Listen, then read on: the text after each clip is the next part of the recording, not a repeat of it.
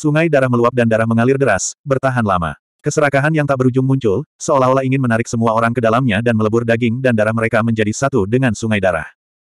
Magma itu panas dan tebal, naik lapis demi lapis. Lapis demi lapis, magma itu naik semakin tinggi. Magma itu seperti pasang surut air laut, ombak di belakang mendorong ombak di depan.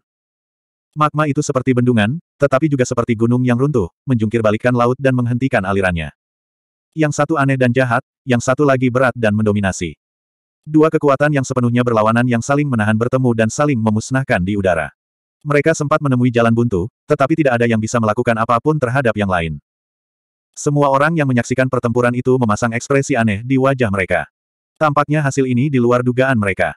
Tentu saja, Zhang Fan tidak tahu apa yang dipikirkan orang lain. Yang membuatnya heran adalah meskipun seni agung sungai darah milik Cisang telah mencapai tingkat yang sangat tinggi, berangsur-angsur berubah dari kotor dan bau menjadi lembut dan harum, jelas bahwa ia telah menguasai semacam esensi darah.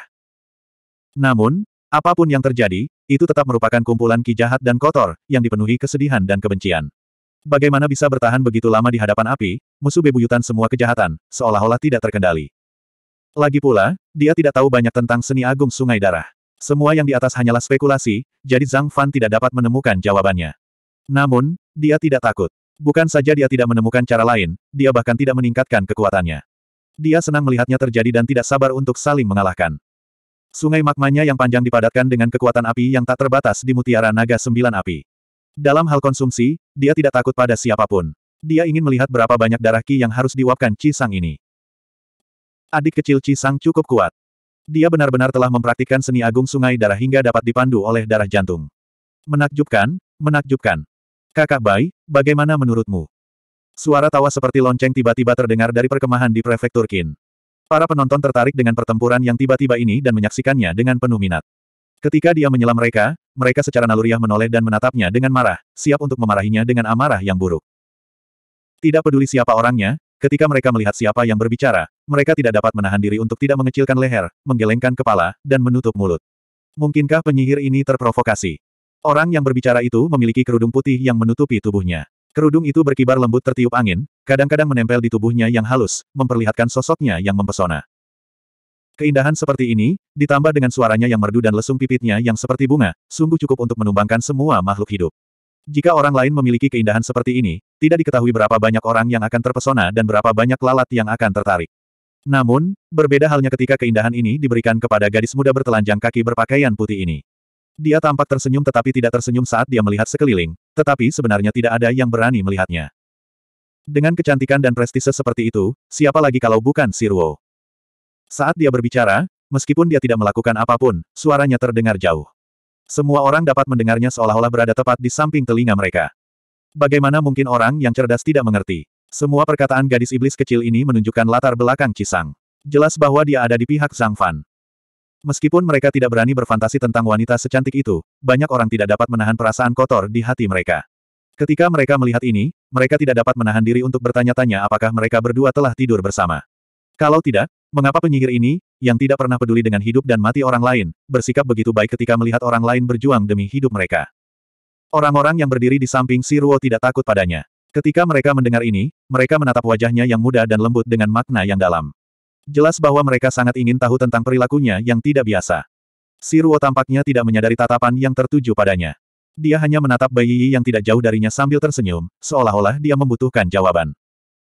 Indra keilahiannya menggetarkan lonceng emas dan sebuah suara dingin terdengar, dia bisa menang. Kata-katanya ringkas dan komprehensif. Jika orang lain yang mengatakan ini, itu akan menjadi tanda ketidakpuasan atau ketidakpuasan. Namun, jika menyangkut Bai Yi, itu hanya menunjukkan harga diri. Dengan kepribadiannya yang dingin, siapa yang tahu berapa banyak orang yang tidak mendengarnya mengatakan apa pun selama periode waktu ini. Baginya untuk memberikan komentar saja sudah sangat jarang. Apa hubungan antara Zhang Fan dan kedua wanita ini? Hampir semua orang memiliki pertanyaan yang sama di hati mereka. Mereka hanya mendengar bahwa mereka pernah bertarung seri sekali, jadi mengapa hubungan mereka tampak baik. Titik-titik. Sungai lahar dan darah bagaikan rantai yang menghubungkan Zhang Fan dan Cisang. Mengenai apakah rantai ini akan mengikatnya atau mengikat yang lain, itu tergantung pada metode yang digunakan oleh kedua belah pihak. Keduanya sedang terlibat dalam pertarungan sengit ketika suara si Ruo terdengar. Mereka berdua adalah orang-orang cerdas, bagaimana mungkin mereka tidak mengerti apa yang dimaksudnya. Zhang Fan tersenyum tipis, berpikir bahwa jarang sekali seorang penyihir seperti si Ruo bersikap baik hati. Pada saat yang sama, hal itu juga memecahkan keraguan di hatinya.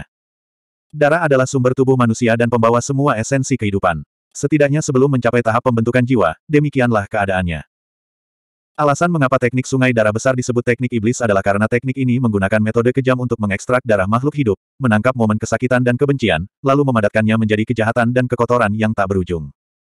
Dengan cara ini, meskipun sangat kuat, ia kurang lebih dapat dilawan dengan api dan teknik lain yang tidak takut pada kejahatan. Untuk menghindari kekurangan ini, Cisang telah menggunakan saripati darahnya sendiri sebagai inti dan primer, lalu menyerap kejahatan dan kekotoran yang tak terbatas untuk memadatkan sungai darah ini. Dengan cara ini, sungai darah ini, dalam arti tertentu, terbentuk dari saripati darahnya sendiri. Saripati darah seseorang sangat murni, jadi bagaimana mungkin ada kejahatan dan kekotoran yang bisa dibicarakan. Secara alami, penekanan api dan teknik kebenaran lainnya akan dikurangi seminimal mungkin. Jika tidak demikian, dia tidak akan bisa membunuh Zuo Hao dalam keadaan utuh. Lagi pula, Zuo Hao juga seorang kultivator tipe api yang langka, jadi dia tidak takut dengan teknik iblisnya. Setelah memahami ini, Zhang Fan segera memahami pro dan kontra dari metode ini. Saat bertemu dengan seorang kultivator yang tidak lebih kuat darinya, ini tentu saja merupakan hasil terbaik. Dia tidak akan dilawan oleh teknik yang benar, jadi tidak akan mudah baginya untuk dibatasi oleh semacam teknik atau harta karun dan tidak dapat menampilkan kekuatan penuhnya. Namun, metode ini juga memiliki kekurangan. Jika lawan lebih kuat darinya, maka tidak perlu benar-benar melukai tubuhnya. Selama seluruh sungai darah hancur dalam satu serangan, maka dia akan mati pada saat yang sama karena kehabisan esensi darahnya. Tidak mungkin dia akan selamat. Untuk saat ini, Zhang Fan tidak dapat menggunakan metode seperti itu, tetapi jika kebuntuan ini berlanjut, dia akan dapat mencapai tujuan yang sama. Bola naga sembilan api berisi api yang tak terukur jumlahnya. Bola itu sama sekali tidak takut dikonsumsi. Bola itu dapat menguapkan seluruh aliran darah setetes demi setetes. Tentu saja, bola itu juga akan menghabiskan seluruh esensi darah kehidupan Cisang dan membunuhnya. Perkataan Sirwo tak hanya menyadarkan Zhang Fan, tetapi juga menyebabkan Cisang mengerutkan kening saat firasat buruk muncul dalam hatinya. Ketika dia menggunakan teknik sungai darah besar melawan Zhu Hao, hanya butuh beberapa saat untuk memadamkan semua teknik api Zhu Hao, sehingga memungkinkan alat sihir itu melukai tubuhnya dan membunuhnya. Tetapi hari ini, dengan menggunakan metode yang sama, bukan saja dia tidak mampu memadamkan teknik lawannya, tetapi seiring berjalannya waktu, sungai darahnya sendiri tampaknya secara bertahap dikonsumsi. Melihat penampilan lawannya yang santai dan sumber energi api yang tampaknya tak ada habisnya, bagaimana mungkin Cisang tidak khawatir? Setelah mendengar Sirwo mengungkapkan kekuatan Cisang yang sebenarnya, dia tidak berani menunda. Sambil menarik napas dalam-dalam, dia akhirnya mengambil inisiatif untuk mengubah tekniknya. Bunga teratai darah mekar, bayi betina cantik, Ci. Sungai darah yang bergejolak tiba-tiba berhenti saat teknik Cisang, seolah-olah membeku.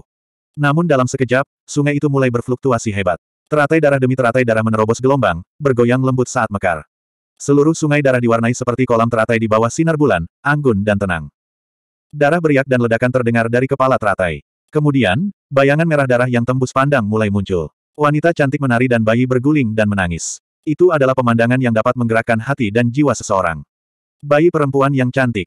Menurutku, kemungkinan besar itu adalah hantu liar. Zhang Fan mendengus dingin. Dia menstabilkan darah dan ki di tubuhnya yang sedikit bergejolak. Kemudian, dia membentuk pedang dengan jarinya dan tiba-tiba menariknya ke ruang di antara kedua alisnya. Apa? Dengan suara siulan melengking, tiga bayangan seukuran bayi biasa melesat keluar dari celah di antara kedua alisnya. Kecepatan mereka begitu cepat sehingga hampir mustahil untuk melihatnya dengan mata telanjang. Tanpa instruksi khusus dari Zhang Fan, mereka secara spontan menerkam bayi-bayi perempuan cantik di atas sungai darah. Keserakahan, kemarahan, obsesi. Ketiga bayi iblis itu awalnya memiliki yinki dari langit dan bumi dan lahir dari tiga pikiran iblis besar dalam tubuh manusia. Tentu saja, mereka tidak takut dengan pesona kecil bayi perempuan yang cantik itu. Sebaliknya, mereka memandang mereka sebagai santapan lesat. Ketika ketiga bayi iblis itu muncul, semua orang yang melihatnya tercengang. Mereka tidak menyangka bahwa Zhang Fan, seorang kultivator yang ahli dalam elemen api, juga akan mempraktikkan teknik kultivasi iblis. Lagi pula, dilihat dari momentum mereka, mereka tampaknya tidak lemah. Ini adalah sesuatu yang sangat dipahami oleh Chi Sang. Wanita-wanita cantik dan bayi-bayi itu sebenarnya ditangkap oleh para kultivator yang telah meninggal di tangannya. Sebelum mereka meninggal, mereka dilahirkan dengan mengumpulkan darah dan ki dari para kultivator yang telah meninggal. Mereka adalah yang paling mengharukan. Dia tidak menyangka bahwa pihak lain memiliki metode yang tampaknya disiapkan secara khusus untuk menahannya seperti bayi-bayi iblis. Ketika bayi-bayi iblis itu muncul, Cisang terkejut dan tidak punya waktu untuk bereaksi. Bayi-bayi perempuan cantik yang tak terhitung jumlahnya ditusuk oleh mereka. Seolah-olah ada sesuatu di intinya yang telah menghilang. Dalam sekejap mata, mereka berubah kembali menjadi darah dan bergabung ke dalam sungai darah. Terlepas dari apakah itu nyata atau ilusi, tidak ada gunanya bersembunyi di sungai darah. Ketiga bayi iblis itu tampaknya tidak memiliki hambatan. Tidak peduli apa yang dilakukan bayi perempuan cantik itu, mereka hanya menembusnya. Sosok-sosok merah darah yang tak terhitung jumlahnya dan tiga bayi hitam. Sekilas, kedua belah pihak tampak tidak cocok satu sama lain. Setelah beberapa saat, keadaan menjadi semakin mendadak. Tidak ada satupun sosok berwarna merah darah yang tersisa, hanya menyisakan tiga bayi iblis yang melihat sekeliling dengan linglung. Mereka bahkan bersendawa dari waktu ke waktu seperti manusia, seolah-olah mereka telah makan sampai kenyang. Setelah bayi-bayi perempuan cantik itu hancur, ruang di atas sosok berwarna merah darah itu tiba-tiba berubah bentuk. Ketika seseorang melihat lebih dekat, mereka melihat banyak sosok ilusi melayang di udara. Mereka tua dan muda, laki-laki dan perempuan.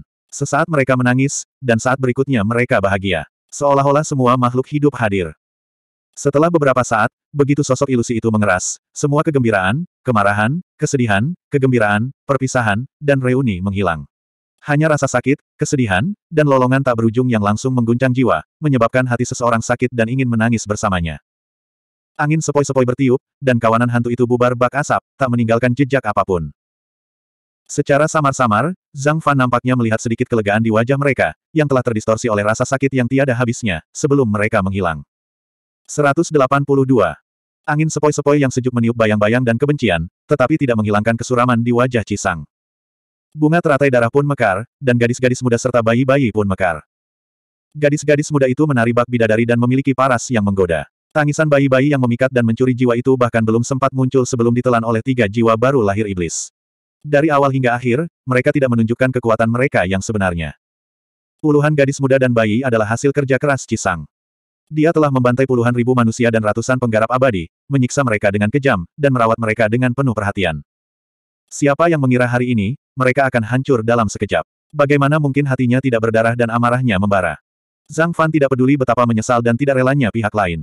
Dia hanya merasa sangat disayangkan bahwa ketiga jiwa iblis yang baru lahir itu terlalu muda dan belum diasuh dengan baik. Kalau tidak, dia mungkin bisa mengalahkan Chi Sang dalam satu gerakan. Ini adalah sesuatu yang tidak dapat dihindari. Tanpa berpikir, Zhang Fan mengangkat tangannya, dan cahaya emas dan putih melesat keluar dari tangannya. Ketika mencapai udara, cahaya itu tiba-tiba menyebar, berubah menjadi jaring besar yang menutupi langit dan matahari. Itu menutupi Cisang, yang berdiri tegak di atas panggung teratai berwarna darah. Jika dia ditahan oleh jaring, metode berikut akan datang satu demi satu. Namun, reputasi besar Cisang tidak sia-sia. Menghadapi jaring penyembuhan surga yang menutupi langit dan bumi, dia tidak menghindar atau menghindar. Dia hanya mencibir dan membiarkannya jatuh padanya. Cahaya emas dan putih menyala dan sosok Chi Sang tidak terlihat lagi. Namun, tidak ada sedikit pun kegembiraan di wajah Sang Fan. Dalam situasi seperti itu, siapa pun akan tahu bahwa ada sesuatu yang salah. Dia hanya tidak tahu metode apa yang dimiliki pihak lain. Dalam sekejap mata, ketika jaring perbaikan surga menyusut hingga seukuran seseorang, terdengar suara pelan. Keselamatan teratai, ribuan inkarnasi. Membuka. Jaring penyembuhan surga tiba-tiba menjadi kosong. Seluruh jaring runtuh dan terbungkus dalam bentuk kuncup bunga. Wajah Zhang Fan menjadi muram. Indra ketuhanannya tiba-tiba bergerak dan menyapu seluruh sungai darah. Kemudian, tatapannya terfokus pada bunga teratai darah yang perlahan mekar. Di dalam kelopak bunga, di atas bunga teratai, seorang pria berjubah merah darah berdiri tegak. Jari-jarinya yang panjang dan pucat terentang di depannya, seolah-olah sedang memainkan pipa. Helayan angin kencang mengikuti gerakannya dan menekan sungai darah, seolah-olah sungai itu seberat gunung Tai. Tiba-tiba, gelombang dahsyat muncul. Gelombang merah darah yang seperti dinding itu menghantam dengan kekuatan yang luar biasa secepat kilat. Yang benar-benar menarik perhatian Zhang Fan adalah teknik penggantian yang dilakukan oleh pihak lain. Mengenai gelombang darah ini, dia sama sekali tidak menaruhnya di matanya. Dia hanya membentuk segel dengan tangannya dan meletakkannya di depan dadanya. Dalam sekejap, suara gagak terdengar. Terbungkus sepasang sayap yang menyala, seluruh sosoknya menghilang, hanya menyisakan bola api berwarna merah kemasan. Gelombang darah yang mengerikan itu tidak ada apa-apanya. Dia tidak berhenti saat melewatinya. Dalam sekejap, dia muncul di depan Cisang. Terjadi ledakan dahsyat. Tepat saat Zhang Fan muncul di depan teratai darah, suaranya yang rendah terdengar lagi. Namun dalam sekejap mata, hanya tersisa separuh teratai darah di depannya, seolah-olah telah menghabiskan seluruh kekuatan hidupnya. Zhang Fan, aku akui kekuatanmu memang hebat, tapi memangnya kenapa? Apa yang dapat kamu lakukan padaku? Zuo Hao dibunuh olehku, Qi Sang. Kamu, kau tidak akan pernah bisa membalas dendam. Hahaha. Tawa yang tak terkendali terdengar, langsung bergema di seluruh sungai darah. Ia bergerak ke timur dan barat, utara dan selatan dalam sekejap mata, naik dan turun dalam sekejap mata, kiri dan kanan dalam sekejap mata. Seolah-olah ia hanyut mengikuti arus, tetapi juga seolah-olah ia sedang berkendara di atas awan. Suara itu memasuki telinganya, tetapi ia tidak dapat menentukan keberadaannya. Seolah-olah dunia berputar, dan seluruh dunia adalah musuhnya. Seni sulap yang bagus, bagus. Zhang Fan memejamkan matanya sedikit lalu membukanya. Ia memuji dengan acuh tak acuh lalu berkata, tetapi di mana ada seni sihir, di situ ada cara untuk menghancurkannya. Sang, kau terlalu menganggap dirimu hebat. Kata-kata ini bukanlah serangan psikologis, dan dia tidak perlu melakukannya. Dia benar-benar melihat kelemahan seni sihir ini. Mantra pengganti teratai ini memang luar biasa. Sampai batas tertentu, bahkan dapat dibandingkan dengan mantra pengganti naga mengalir miliknya. Namun, bagaimana mungkin teratai darah biasa dapat dibandingkan dengan mantra pengganti naga mengalir? Seni sihir ini didasarkan pada sungai darah, dan keterbatasannya tidak dapat lagi disembunyikan dari pandangan Zhang Fan setelah digunakan. Jenis seni sihir ini secara alami sangat efektif saat pertama kali digunakan. Meskipun Zhang Fan telah melihat banyak seni aneh, dia harus memujinya. Namun, jika dia berpikir bahwa dia dapat menguasai dunia dengan satu keterampilan ini, dia akan meremehkan para pahlawan dunia. Setelah itu, Zhang Fan tidak banyak bicara. Dia hanya menggerakkan pikirannya, dan jurnal benda ajaib melayang keluar dari tangannya. Dengan kilatan cahaya, halaman itu terbuka. Swoosh, swoosh, swoosh. Halaman-halamannya sangat cepat dan berat. Sembilan gelombang suara berturut-turut meledak dan meraung. Arus derasnya tidak terlalu deras, dan gunturnya tidak terlalu keras. Dalam sekejap, suara siulan unik ini memenuhi dunia. Setelah sembilan halaman dibalik, jurnal barang ajaib itu jatuh tak berdaya seolah-olah telah kehabisan tenaga. Pada saat yang sama, sembilan cahaya dingin membubung tinggi dan langsung berubah menjadi sembilan naga es raksasa. Naga es memadatkan tubuh mereka, dan raungan mereka mengguncang langit. Mereka mengangkat kepala dan menjulurkan cakar mereka, tampak agung dan sangat sombong, seolah-olah binatang iblis kuno yang sebenarnya telah muncul kembali di dunia. Sedikit memperlihatkan tubuh mereka, sembilan naga es segera berbalik dan menerobos gelombang darah, langsung tenggelam ke dalam sungai darah tanpa dasar. Begitu mereka masuk, mereka bisa melihat ekor naga kristal bergoyang. Dasar sungai darah bergemuruh dan berguncang, seolah-olah ada gunung berapi yang meletus di bawah laut yang tak terbatas. Seluruh dunia sungai darah bergetar seolah-olah akan terbalik. Tanpa disadari, udara dingin dan embun beku muncul entah dari mana. Melihat ke atas, seluruh area sungai darah tertutup lapisan warna dingin. Bahkan ada potongan-potongan es yang muncul di sungai darah, saling bertabrakan bersama dengan ombak yang bergulung-gulung, membentuk simfoni yang kacau dan berisik.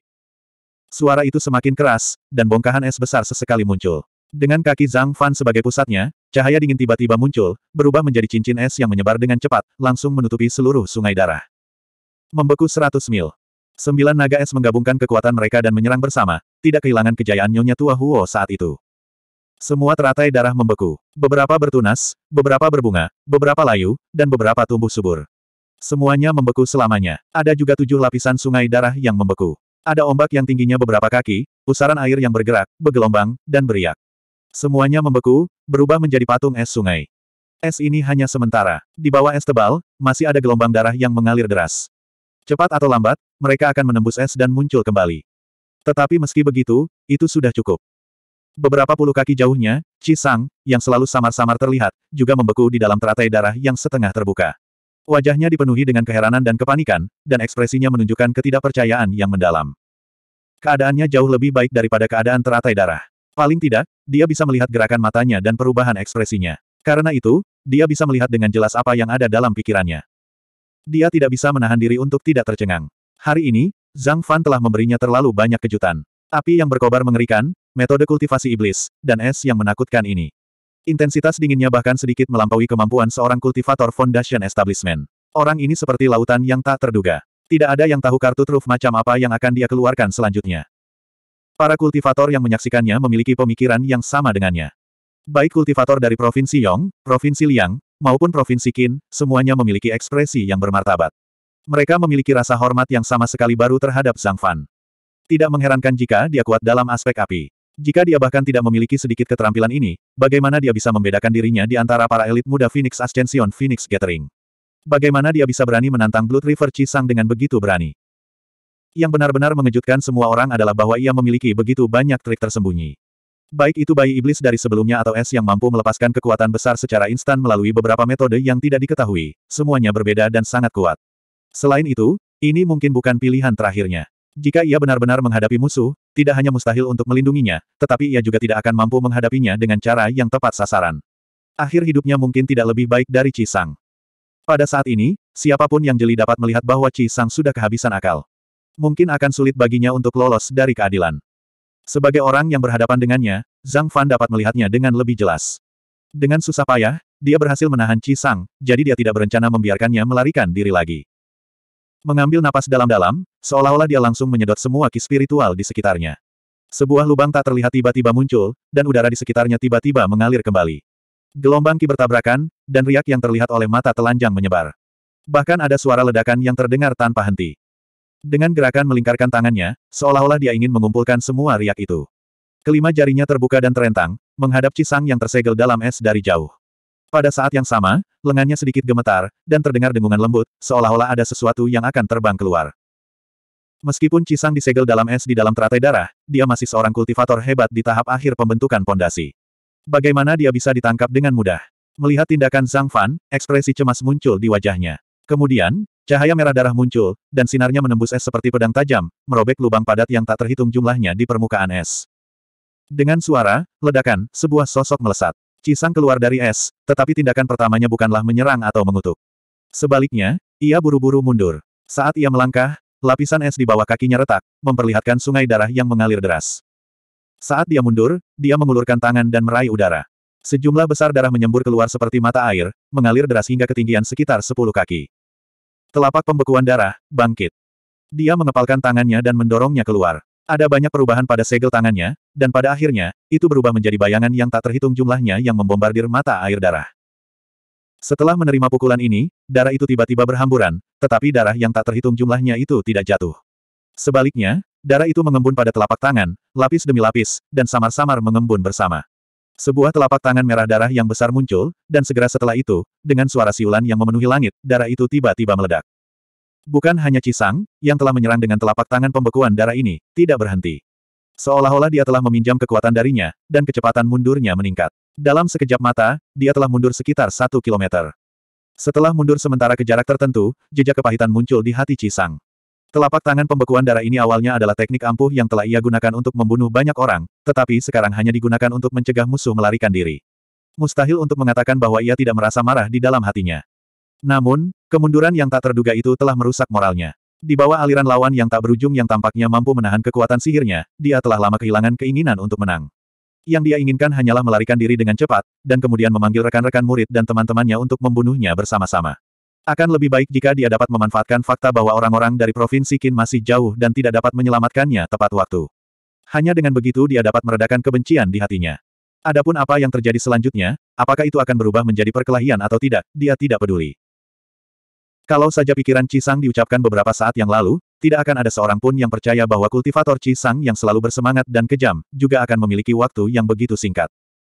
Namun, apa yang terjadi selanjutnya membuktikan bahwa pikirannya tidak salah. Tepat ketika Cisang mengira bahwa dengan telapak tangan pembekuan darah yang menghalanginya, dia telah mundur ke jarak aman dan hendak membuka mulut untuk memanggil rekan-rekan muridnya, situasinya tiba-tiba berubah.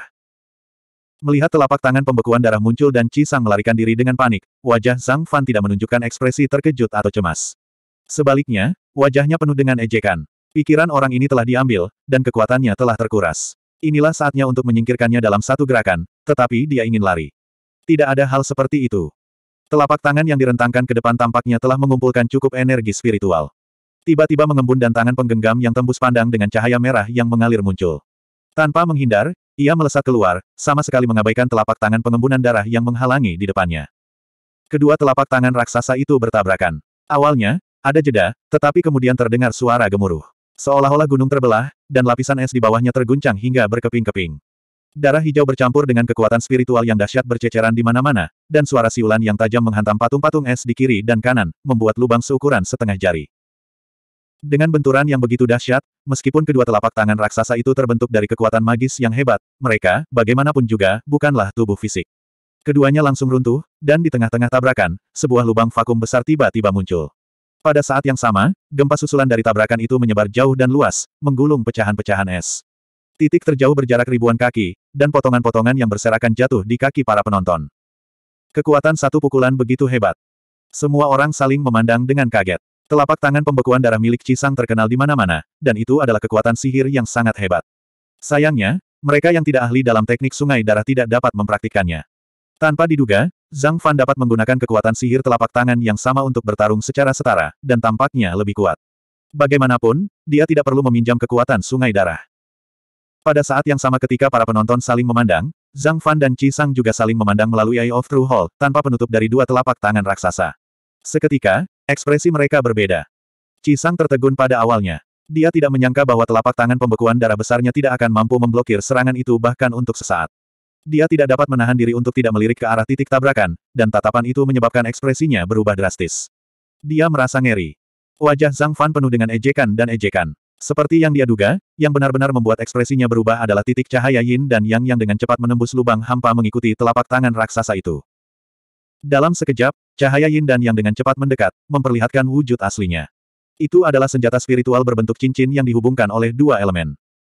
Tepat saat wajah Ci Sang menunjukkan kengerian, dan sebelum dia bisa bereaksi, cincin langit dan bumi telah menutupi kepalanya. Cincin yang tiba-tiba menyusut dan terkurung, dan cincin yin bergetar dan berdengung pelan. Dalam sekejap, bayangan kematian menyelimutinya. Tidak. Ci Sang menjerit aneh, lalu segera menekuk jari-jari tangan kanannya dan memukul dadanya beberapa kali dengan buku-buku jarinya. Ia menggunakan begitu banyak tenaga sehingga suara yang dihasilkannya seperti ketukan drum. Dengan tindakan ini, seteguk darah esensi dipaksa keluar, lalu disemprotkan dan berubah menjadi kabut darah. Pada saat hidup dan mati, potensi Cisang tampaknya dipaksa keluar. Dia melambaikan telapak tangannya, dan cetakan tangan yang rumit langsung terbentuk, terintegrasi ke dalam kabut darah esensi, dan segera berteriak. Blood River, kembali. Dengan suara, ledakan, seluruh sungai darah menghilang. Bahkan langit yang tampaknya telah mewarnai awan dengan warna merah darah juga menghilang bersamanya. Sungai darah tidak benar-benar menghilang, namun menyusut berkali-kali lipat, seperti pita sutra yang melilit tubuh Cisang, samar-samar menolak pengekangan cincin langit dan bumi. Mengubah. Cisang mengarahkan jarinya ke pita sutra sungai darah, dan dalam sekejap, ada semburan cahaya darah, seolah-olah lautan darah telah turun, dan segera menggulung seluruh tubuhnya, mengembun menjadi jubah tao berwarna merah darah. Sekilas, itu tampak seperti sungai yang semini, atau laut dalam tanpa batas, dengan ombak yang samar. Ini benar-benar masalah hidup dan mati. Dia baru saja selesai melakukan ini, dan jubah darah menutupi tubuhnya, melindunginya. Ekspresinya sedikit tenang, dan cincin langit dan bumi telah menyusut hingga ekstrim, dan dia segera melancarkan serangan. Cincin yang tiba-tiba menyusut, dan cahaya merah meledak keluar, menempel pada jubah darah, tetapi seolah-olah telah tenggelam ke dalam kapas, penyok yang dalam muncul. Semakin dalam, semakin besar tekanannya, dan pada akhirnya, secara bertahap tidak bisa masuk, dan ada kekuatan samar yang mendorong keluar. Hal anehnya, Dilihat dari kedalaman cincin yang, seharusnya itu cukup untuk membelah Cisang menjadi dua, tetapi saat melihatnya, dia sepertinya tidak merasakannya, seolah-olah lekukan yang dalam itu tidak ada. Cincin yang seperti ini, dan cincin yin tidak memiliki banyak efek. Pada saat yang sama ketika cincin yang menyusut, cincin yin bergetar, dan gelombang yang khusus menyerang Soul Treasury padat dan terus-menerus, samar-samar berpotongan dan menyebar. Untuk sesaat, seluruh ruang di dalam cincin yin tampaknya terpotong-potong oleh riak yang tak terhitung jumlahnya. Belum lagi Cisang, seorang kultivator Foundation Establishment yang terlambat, bahkan seorang kultivator Peak Completion atau False Score tidak akan sepenuhnya tidak terpengaruh oleh serangan ini. Itu hanya masalah waktu. Namun, meskipun cincin yin bergetar hebat, dan suara tak kasat mata yang khusus menyerang jiwa menyatu menjadi hebat, dan bahkan mengeluarkan suara yang dapat didengar oleh telinga manusia, Cisang, yang berada di tengah serangan, hanya sedikit mengernyit, dan langsung tidak terluka. Hanya jubah darah seperti film yang beriak, seperti embusan angin tiba-tiba yang membuat kolam air mata air berkerut. Jubah darah ini, yang dipadatkan dari sungai darah dan dipercayakan kepada harapan terakhir Cisang, memang luar biasa. Jubah ini sama sekali mengabaikan semua kekuatan cincin langit dan bumi. Melihat efeknya, bahkan jika dua kali lebih kuat, jubah ini tetap tidak akan mampu melakukan apa pun terhadapnya. Hingga saat ini dalam pertempuran, Cisang hanya unggul dalam hal jubah berdarah dan cincin langit dan bumi. Namun, hasil yang langka ini tidak membawa sedikit pun kegembiraan di wajahnya. Sebaliknya, dia mengerutkan keningnya erat-erat, dan ekspresi putus asa yang suram perlahan-lahan muncul di wajahnya. Meskipun kekuatan cincin langit dan bumi luar biasa, siapa pun yang jeli dapat melihat bahwa senjata spiritual ini hanya digunakan untuk menjebaknya sementara. Serangan sebenarnya yang dapat membunuhnya mungkin masih terbentuk dalam sosok yang bergegas mendekat. Yang terburuk adalah, meskipun dia tahu hal ini, dia tidak dapat melepaskan diri barang sedetik pun. Meskipun kekuatan cincin langit dan bumi telah sepenuhnya ditekan oleh jubah darah, itu juga telah menyelesaikan tugasnya. Di bawah pengekangannya, dengan kultivasi pendirian pondasi Cisang yang terlambat, bukan tidak mungkin baginya untuk membebaskan diri, tetapi itu bukanlah sesuatu yang dapat dilakukan dalam waktu singkat. Dalam keadaan normal, waktu tersebut hanya sekejap mata, dan sedikit gangguan akan berlalu. Namun, pada saat ini, itu adalah jarak antara hidup dan mati. Dalam sekejap, sosok Zhang Fan tiba-tiba muncul seperti kilat. Seluruh langit tiba-tiba menjadi gelap, dan bayangan di tanah menyebar, secara bertahap membentuk wujud burung iblis purba dengan kedua sayapnya terbentang lebar, dadanya membusung, dan kedua kakinya terbentang. Dharma, seekor gagak emas berkaki tiga. Pada titik pertempuran ini, Zhang Fan akhirnya mengaktifkan dharmanya dengan seluruh kekuatannya untuk pertama kalinya, melancarkan serangan terkuatnya. 183. Aura yang mengerikan bagaikan gelombang dahsyat menyembur keluar dari tubuh Zhang Fan yang tidak terlalu tinggi, langsung menenggelamkan darah di depannya. Tubuhnya bergetar, dan jubahnya berkibar terbuka. Sebuah tangan melengkung membentuk cakar dan perlahan terulur. Patung Dharma gagak emas berkaki tiga di belakangnya melakukan hal yang sama. Cakar gagak dan tangan manusia secara bertahap saling tumpang tindih. Pada saat itu, cakar yang tumpang tindih itu berhenti sejenak, lalu tiba-tiba meledak. Cakar ilahi gagak emas bersiul di udara dan menyerbu keluar. Api merah dan hitam membentuk cakar sungguhan, dan api emas terang membentuk permukaan, terbakar dengan cahaya kehancuran. Baik Cisang, yang menghadapi cakar dewa dengan wajah penuh keputusasaan, atau para penonton di kedua sisi, pada saat itu, mata mereka dipenuhi dengan cakar dewa gagak emas. Seolah-olah di seluruh dunia, ini adalah satu-satunya hal yang nyata dan yang lainnya palsu. Ini adalah perasaan yang sangat aneh. Itu adalah ketertarikan alami yang muncul ketika esensi, jiwa, dan roh seseorang telah berkumpul pada puncaknya. Cisang, yang mengenakan jubah darah, menyaksikan semua yang terjadi. Tubuhnya terikat, dan dia tidak memiliki kekuatan lagi. Dia tahu bahwa serangan ini akan mengguncang dunia, tetapi dia bahkan tidak bisa menghindarinya. Keputusasaan di hatinya tidak dapat dijelaskan dengan kata-kata, dan hatinya dipenuhi dengan kepahitan. Jika dia tahu ini akan terjadi, dia tidak akan menyerang. Mungkin bersembunyi di cangkangnya adalah pilihan terbaik. Sudah terlambat untuk mengatakan apa pun sekarang. Dalam sekejap mata, aura itu mencapai puncaknya, dan Golden Crow Divine Claw jatuh, menembus dada jubah darah itu. Begitu mereka bersentuhan, jubah merah tua itu, yang hampir tidak beriak di bawah serangan kekuatan penuh cincin semesta, tiba-tiba berfluktuasi hebat, memperlihatkan gelombang yang melonjak di dalamnya. Seolah-olah tidak ada habisnya, dan itu bersaing dengan cakar dewa yang penuh dengan api. Cakar dewa gagak emas tenggelam sedikit demi sedikit, dan api terus menjilatinya.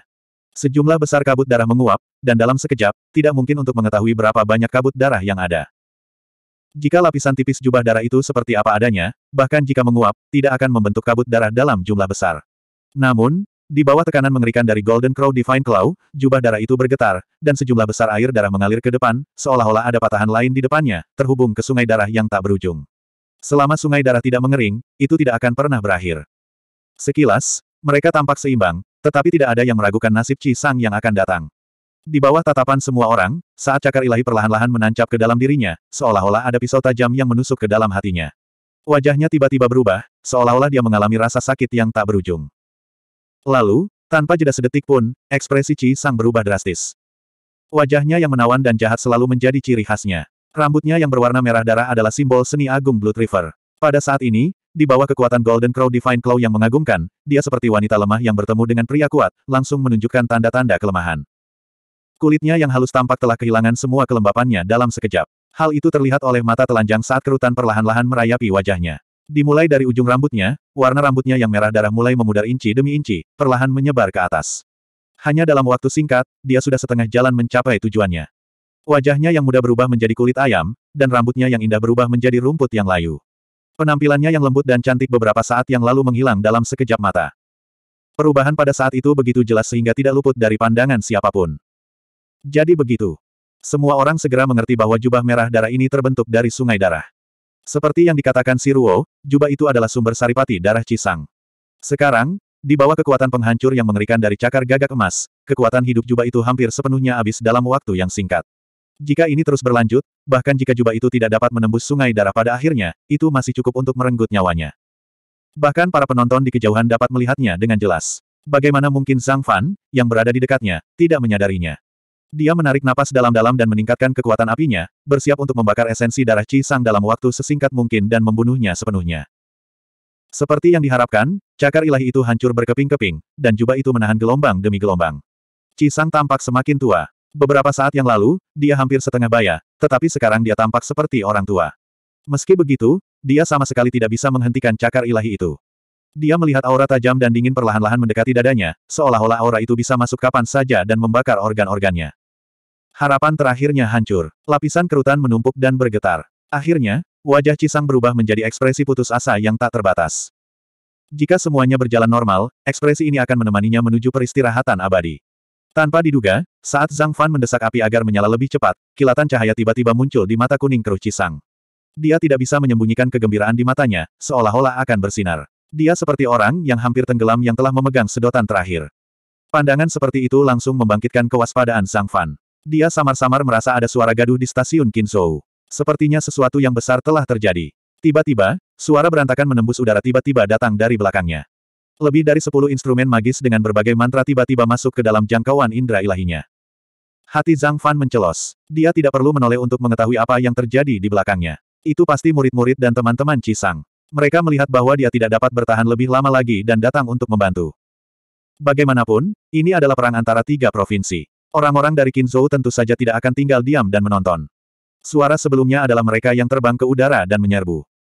Meskipun mereka sedikit lebih jauh dari orang-orang dari Yong dan Liang, mereka dapat tiba dalam sekejap mata. Jika dia melepaskan kesempatan untuk membunuh Sang dan mundur, dia akan memiliki kesempatan untuk bertemu dengan para kultivator dari Qinzhou. Dalam hal itu, dia tidak perlu takut akan pengejaran mereka. Tetapi bisakah dia benar-benar melepaskan kesempatan ini? Sebuah pilihan telah diletakkan di depannya. Setelah kejadian ini, Sang pasti akan seperti burung yang terkejut hanya karena bunyi dentuman busur panah. Ingin membunuhnya lagi akan sama sulitnya dengan naik ke surga. Cahaya dingin menyala. Dalam sekejap, Zhang Fan membuat keputusan di dalam hatinya. Momentum tangannya tidak berubah. Api tiba-tiba meletus, tidak lagi mengalir masuk melalui lubang yang diciptakan oleh cakar ilahi Golden Crow. Sebaliknya, mereka menyelimuti seluruh tubuh Sang. Dari atas ke bawah, dari kiri ke kanan, api ada di mana-mana, seolah-olah mereka tidak akan berhenti sampai mereka benar-benar memanggang Sang hingga kering. Dengan cara ini, tentu saja ia kehilangan kesempatan untuk menghindar. Di tengah teriakan kaget orang-orang di kejauhan, puluhan sinar cahaya menyerangnya. Sinar-sinar itu hanya berjarak tiga kaki dari punggungnya. Ekspresi Zhang Fan tidak berubah. Tatapannya yang membara tidak pernah meninggalkan Cisang. Hanya dengan satu pikiran, perisai cahaya hitam tiba-tiba muncul dan menyelimuti seluruh tubuhnya. Ledakan. Lebih dari sepuluh peralatan ritual dan berbagai mantra membombardir perisai cahaya tanpa henti. Peralatan ritual bersiul di udara dan berbagai lampu menyala. Untuk sesaat, seluruh tubuh Zhang Fan tenggelam dalam cahaya. Dia seperti perahu yang kesepian di lautan yang mengamuk yang bisa terbalik kapan saja. Melihat ini, orang-orang yang melancarkan serangan diam-diam di belakangnya semua menunjukkan ekspresi gembira. Sebaliknya, orang-orang dari Qinzhou yang belum tiba penuh dengan kemarahan dan keterkejutan. Mereka marah karena pihak lain tidak mengikuti aturan dan heran mengapa Zhang Fan begitu tidak bijaksana. Tidak mungkin dia tidak merasakan bahaya. Mengapa dia tidak menghindar? Mungkinkah dia telah dibutakan oleh kebencian? Di antara kerumunan, hanya si Ruo yang terkejut. Kemudian, dia memikirkan sesuatu dan tidak bisa menahan senyum. Pada saat yang sama, dia melirik kembali ke perkemahan. Pandangannya berhenti pada salah satu tenda mewah yang samar-samar terlihat. Tidak seorang pun menyadari perilakunya yang aneh. Pada saat ini, perhatian semua orang terfokus pada tempat terjadinya ledakan dan tempat asap serta debu memenuhi udara. Ketika debu telah mereda, perisai cahaya hitam sekali lagi muncul di depan semua orang. Heran, ekspresi yang sama muncul di wajah setiap orang dalam sekejap. Serangan penuh dari lebih dari sepuluh kultivator dasar tidak dapat melakukan apa pun pada perisai cahaya itu. Apa benda itu? Kemudian, semua orang melihat sosok yang masih berdiri di dalam perisai cahaya. Hati mereka dipenuhi dengan emosi yang rumit. Serangan orang ini sangat kuat dan tak tergoyahkan. Semua orang telah melihatnya dengan mata kepala mereka sendiri. Sekarang, tampaknya pertahanannya bahkan lebih kuat dari cangkang kura-kura. Lebih dari sepuluh kultivator dasar. Bahkan seorang kultivator sudo dan tidak akan berani menerima serangan seperti itu secara langsung. Jika para penonton hanya terkejut, maka mereka yang menyerang di belakang mereka pun terperanjat. Melihat perisai cahaya hitam di depan mereka, mereka tidak dapat menahan perasaan seperti semut yang mencoba mengguncang pohon. Mereka samar-samar merasa bahwa mereka telah bertindak impulsif kali ini. Zhang Fan tidak tahu apa yang dirasakan orang-orang di luar. Perisai cahaya hitam itu memberinya sedikit waktu, tetapi itu sudah cukup baginya untuk menyelesaikan apa yang ingin dilakukannya.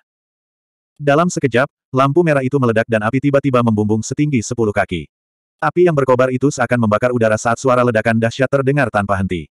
Bahkan terdengar teriakan kesakitan dari pusat api. Jika beberapa saat yang lalu Cisang masih seorang lelaki tua, sekarang dia tidak lagi terlihat seperti manusia.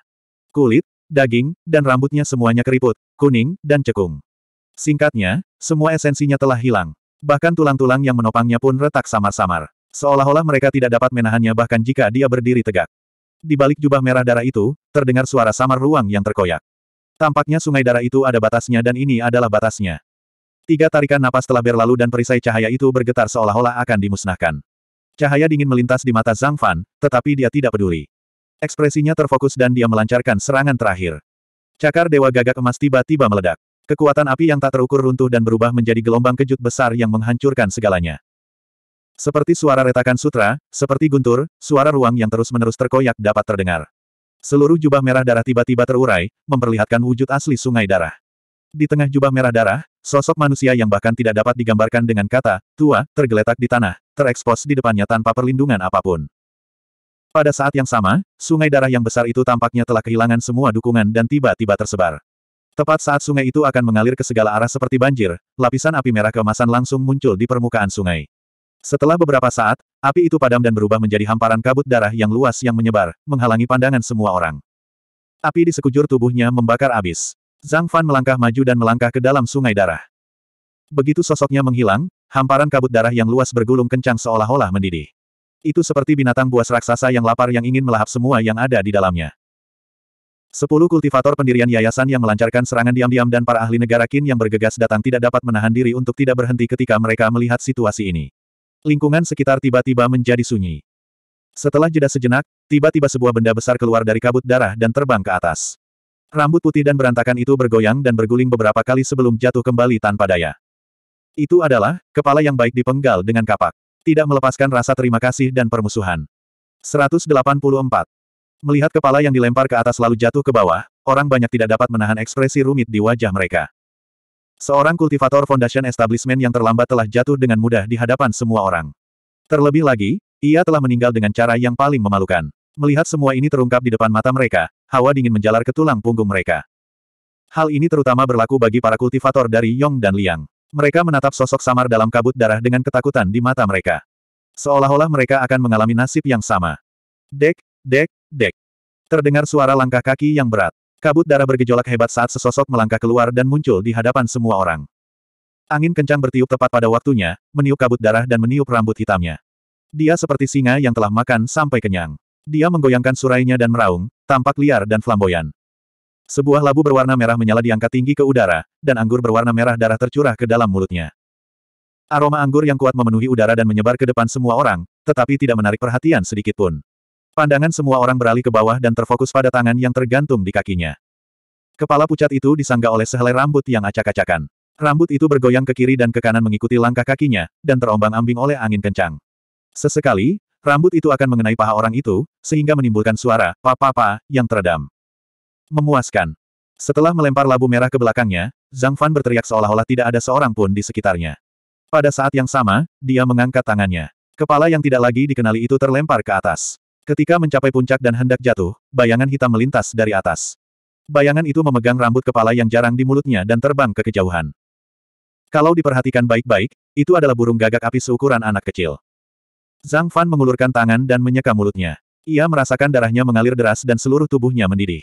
Pada saat ini, ia akhirnya mengerti apa yang dimaksud si Zong Tian ketika ia berkata, menggunakan kepala manusia sebagai cawan anggur untuk meminum darah musuh kita. Betapa hebat dan memuaskannya hal itu. Hem, Baru sekarang dia merasakan tatapan itu tertuju padanya. Dia mengangkat kepalanya tiba-tiba dan menyapukan pandangannya ke seluruh kerumunan seolah-olah ada sesuatu di dalamnya. Dalam sekejap, mereka fokus pada seorang pria dan seorang wanita, dua orang kultivator. Selusin orang yang menjadi sasaran tatapannya adalah para kultivator Yong dan Liang yang menyergapnya dari belakang. Kebanyakan dari mereka adalah murid-murid Sekte Setan Darah, mungkin juga murid-murid Cisang. Hanya ada dua pengecualian, Li Gong dan Situya. Karena Situya berdiri di belakang, Zhang Fan hampir saja luput darinya karena ia dihalangi oleh orang banyak. Sebaliknya, Li Gong berbeda. Bukan hanya posisinya yang sangat dekat dengan garis depan, tetapi artefak sihir berbentuk sekop di tangannya juga bersinar terang, dan aura spiritualnya terus berfluktuasi. Jelas, dia baru saja menggunakannya. Melihat tindakan Zhang Fan, mata Li Gong berkedip. Dia merasakan gelombang kepanikan tanpa alasan saat dia mundur dan bersembunyi di belakang seorang murid sekte setan darah. Hahaha, bagus, bagus sekali. Zhang Fan tiba-tiba tertawa terbahak-bahak. Suaranya yang membunuh terdengar dari kejauhan. Kau benar-benar punya secangkir anggur yang tak ada habisnya untuk diminum dan musuh yang tak terhitung jumlahnya untuk dibunuh. Kalian semua, serang bersama. Segera setelah itu, dia melolong panjang. Riak-riak tak kasat mata menyebar dari mulutnya seperti goncangan gunung dan sungai. Mereka yang mendengarnya merasa seperti jiwa mereka bergoyang tertiup angin. Tindakan itu bagaikan sebuah batu besar yang jatuh ke air, yang langsung menimbulkan ombak. Para kultivator Yong dan Liang merasa ngeri. Mereka berpikir, Zhang Fan benar-benar akan menyerang dengan berani ketika ada begitu banyak dari kita di pihak kita. Para pembudidaya di Provinsi Qin, di sisi lain, berteriak kaget dan berhenti 300 meter jauhnya. Makna yang disampaikan Zhang Fan sangat jelas. Lebih dari separuh kata-kata arogannya sebelumnya mungkin ditujukan kepada para kultivator Provinsi Qin. Melihatnya, dia tampaknya ingin menghadapi sendiri belasan kultivator Foundation Establishment ini. Karena dia sudah mengatakannya, jika mereka masih maju, itu akan dianggap tidak sopan kepada yang kuat. Sejak kemunculannya, dia telah membunuh 12 orang berturut-turut. Meskipun kekuatan mereka berbeda-beda, itu sudah cukup untuk menunjukkan kekuatannya. Jika bukan karena ini, mengapa mereka peduli dengan pendapat orang lemah. Mereka pasti sudah menyerbu ke depan dan memulai pertempuran yang kacau sejak lama.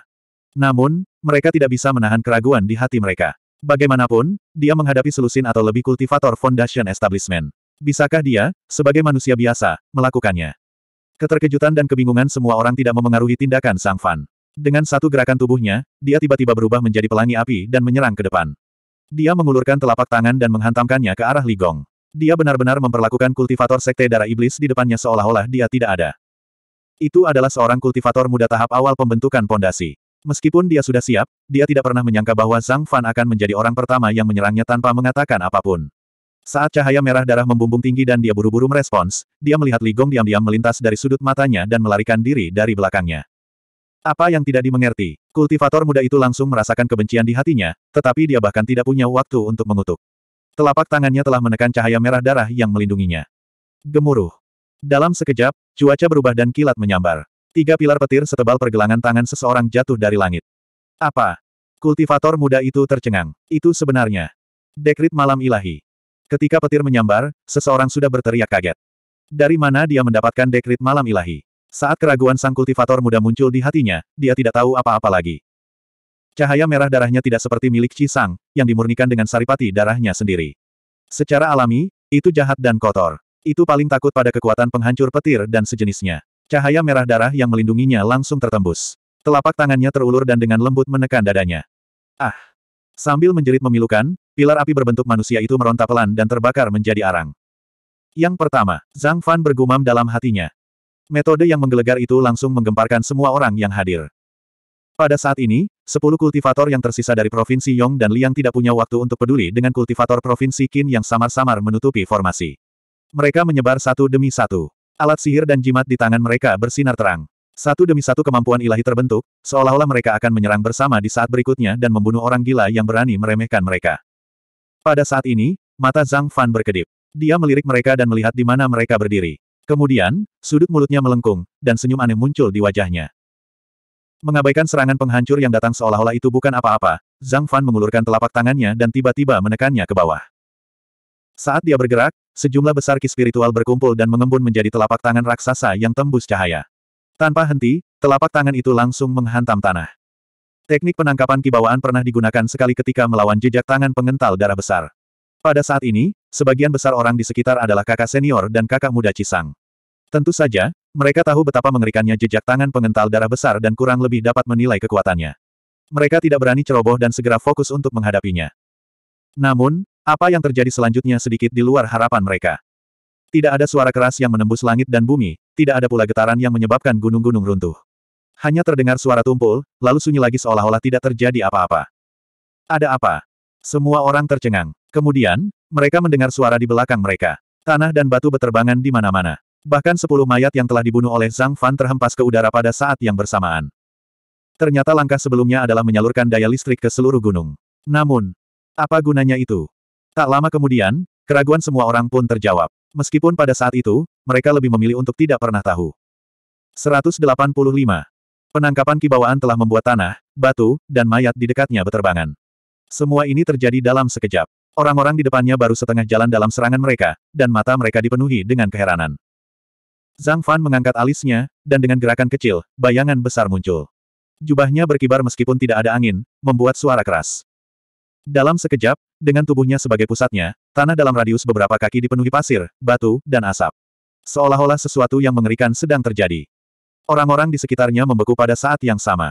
Ketika dia bertarung dengan Cisang sebelumnya, kekuatan mengerikan dari seni roh bentuk Dharma milik Zhang Fan terungkap tanpa keraguan. Bagaimana mereka berani bersikap ceroboh?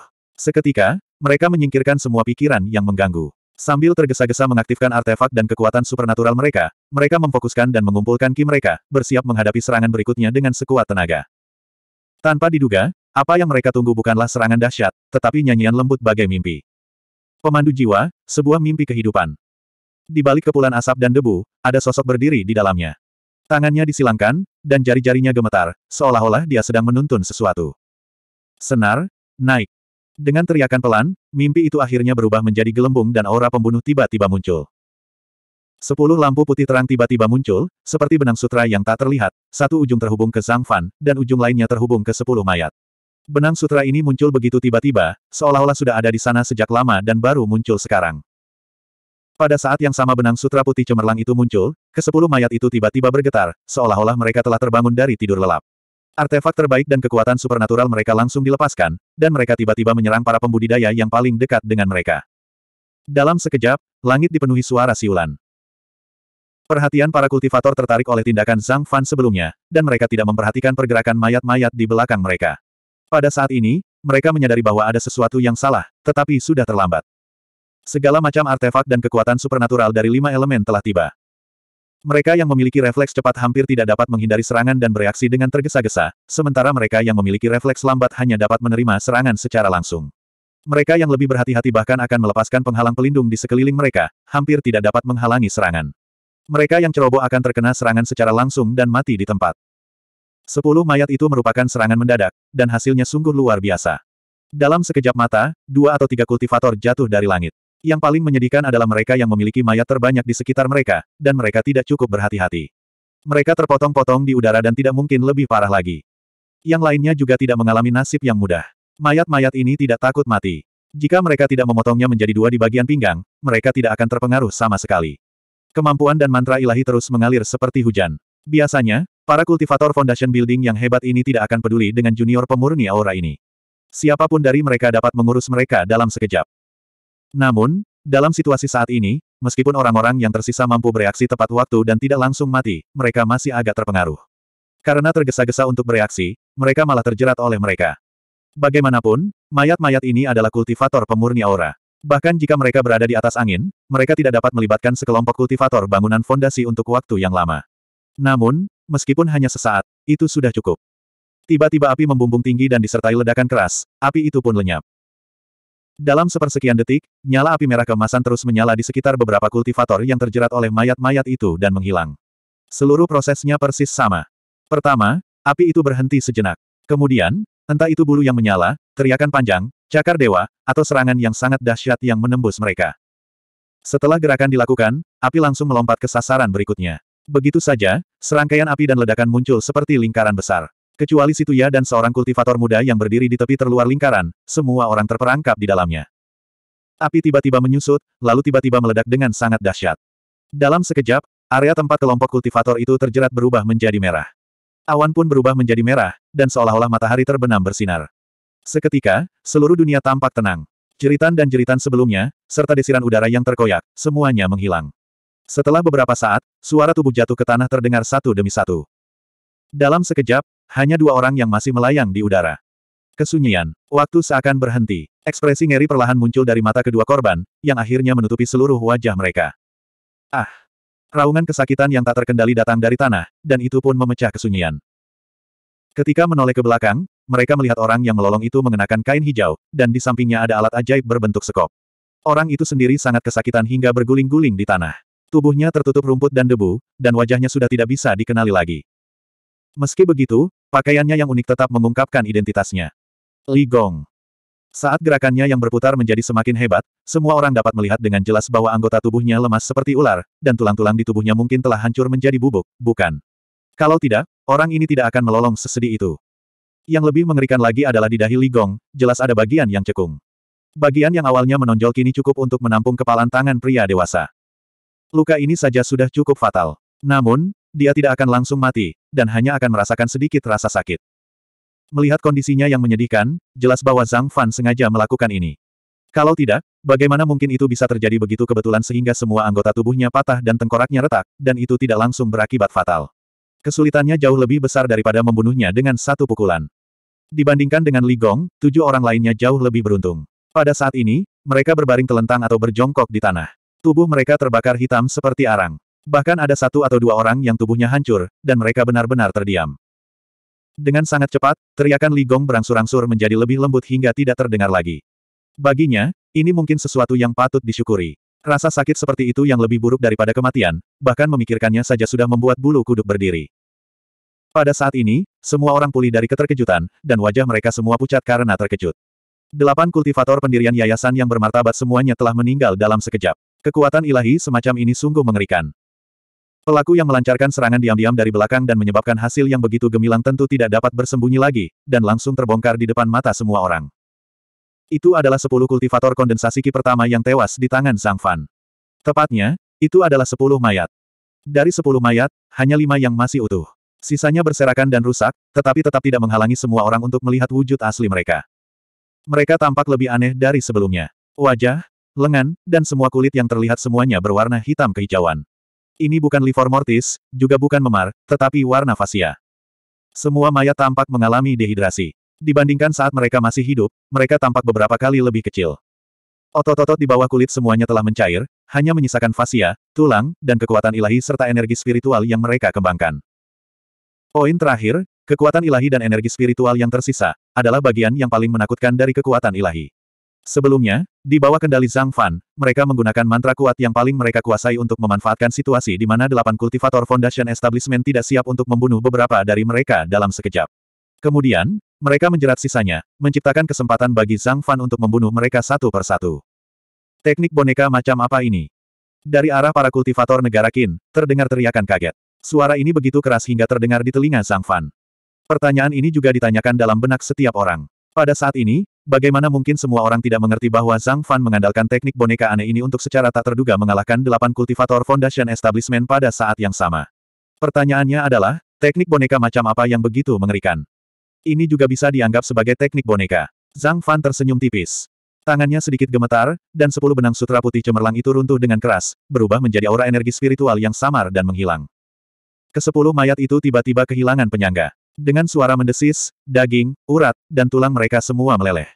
Di bawah kepala, tampaknya hanya ada sepotong kulit manusia yang tersisa, jatuh lemas. Melihat boneka-boneka yang seharusnya menyimpan kekuatan suci dari saat mereka masih hidup hancur begitu saja, perasaan menyesal yang mendalam tiba-tiba muncul di hati banyak orang. Dia melakukan ini karena dia tidak punya pilihan lain. Baik itu jubah emas hitam atau dirinya sendiri, mereka tidak bisa bertahan lama. Kalau tidak, jika kekuatan ulat sutra kuno direproduksi, bukankah seluruh dunia kultivasi akan berada di bawah kekuasaannya? Bertahun-tahun yang lalu, dia mendapatkan seekor ulat sutra yang sekarat di lembah tanpa kembali. Saat itu, dia sangat gembira. Baik untuk membesarkannya di penangkaran untuk mengekstrak sutra atau membudidayakannya menjadi binatang spiritual, itu adalah pilihan yang menjanjikan. Dia tidak menyangka akan mengetahui kemudian bahwa ulat sutra benang sutra benar-benar sangat cacat sejak lahir. Baik itu untuk bertarung, memintal sutra, atau bereproduksi, itu mustahil baginya. Harta karun yang begitu berharga telah menjadi keberadaan yang tidak berguna dalam waktu yang singkat. Pada saat itu, Zhang Fan memukul dadanya dan sangat kecewa. Ngomong-ngomong, jika dia memberinya makan dengan baik selama beberapa ratus tahun, ketika kultivasinya tinggi di masa depan, dia bisa menemukan lebih banyak peluang. Mungkin bukan hal yang mustahil baginya untuk memulihkan dan melestarikan spesies kuno ini.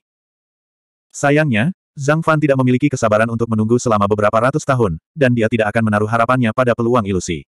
Oleh karena itu, setelah dia menguasai teknik pemurnian, dia mengambil esensi jiwanya tanpa ragu-ragu dan mengintegrasikannya ke dalam jubah emas hitam. Dia memurnikannya menjadi senjata spiritual superior yang tidak dapat dievaluasi berdasarkan tingkatannya.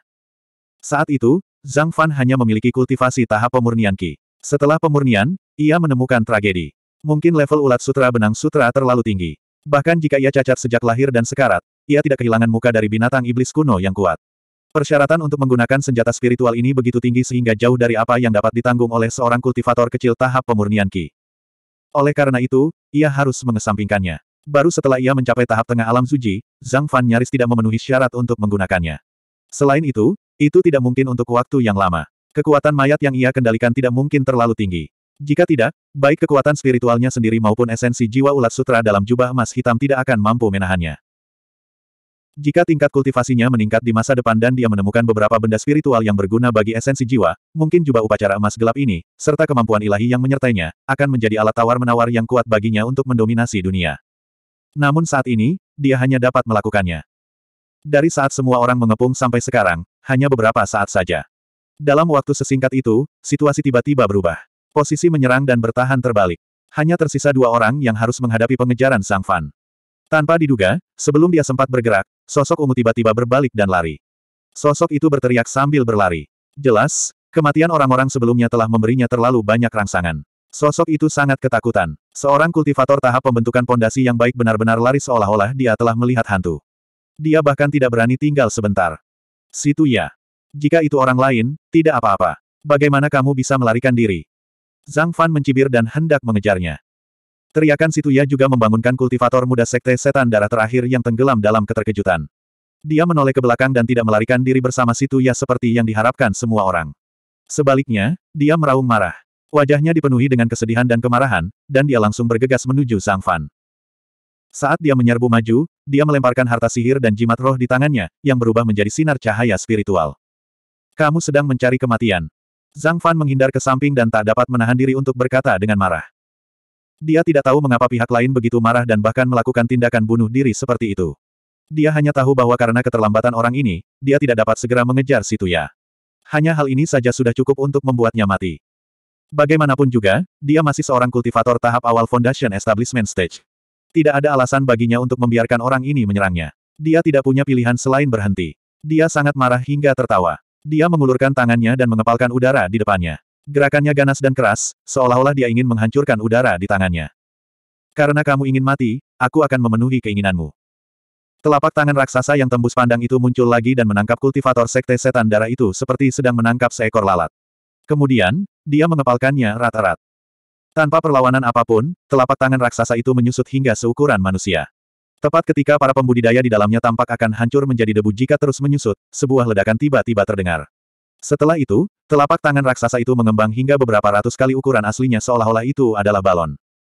Dengan ledakan ini, Zhang Fan mengeluarkan erangan teredam. Dadanya naik turun dengan hebat dua kali sebelum kembali normal. Hancurkan diri sendiri. Aku telah meremehkanmu. Setelah menenangkan kidan darahnya, Zhang Fan tidak dapat menahan diri untuk berkata dengan penuh kebencian.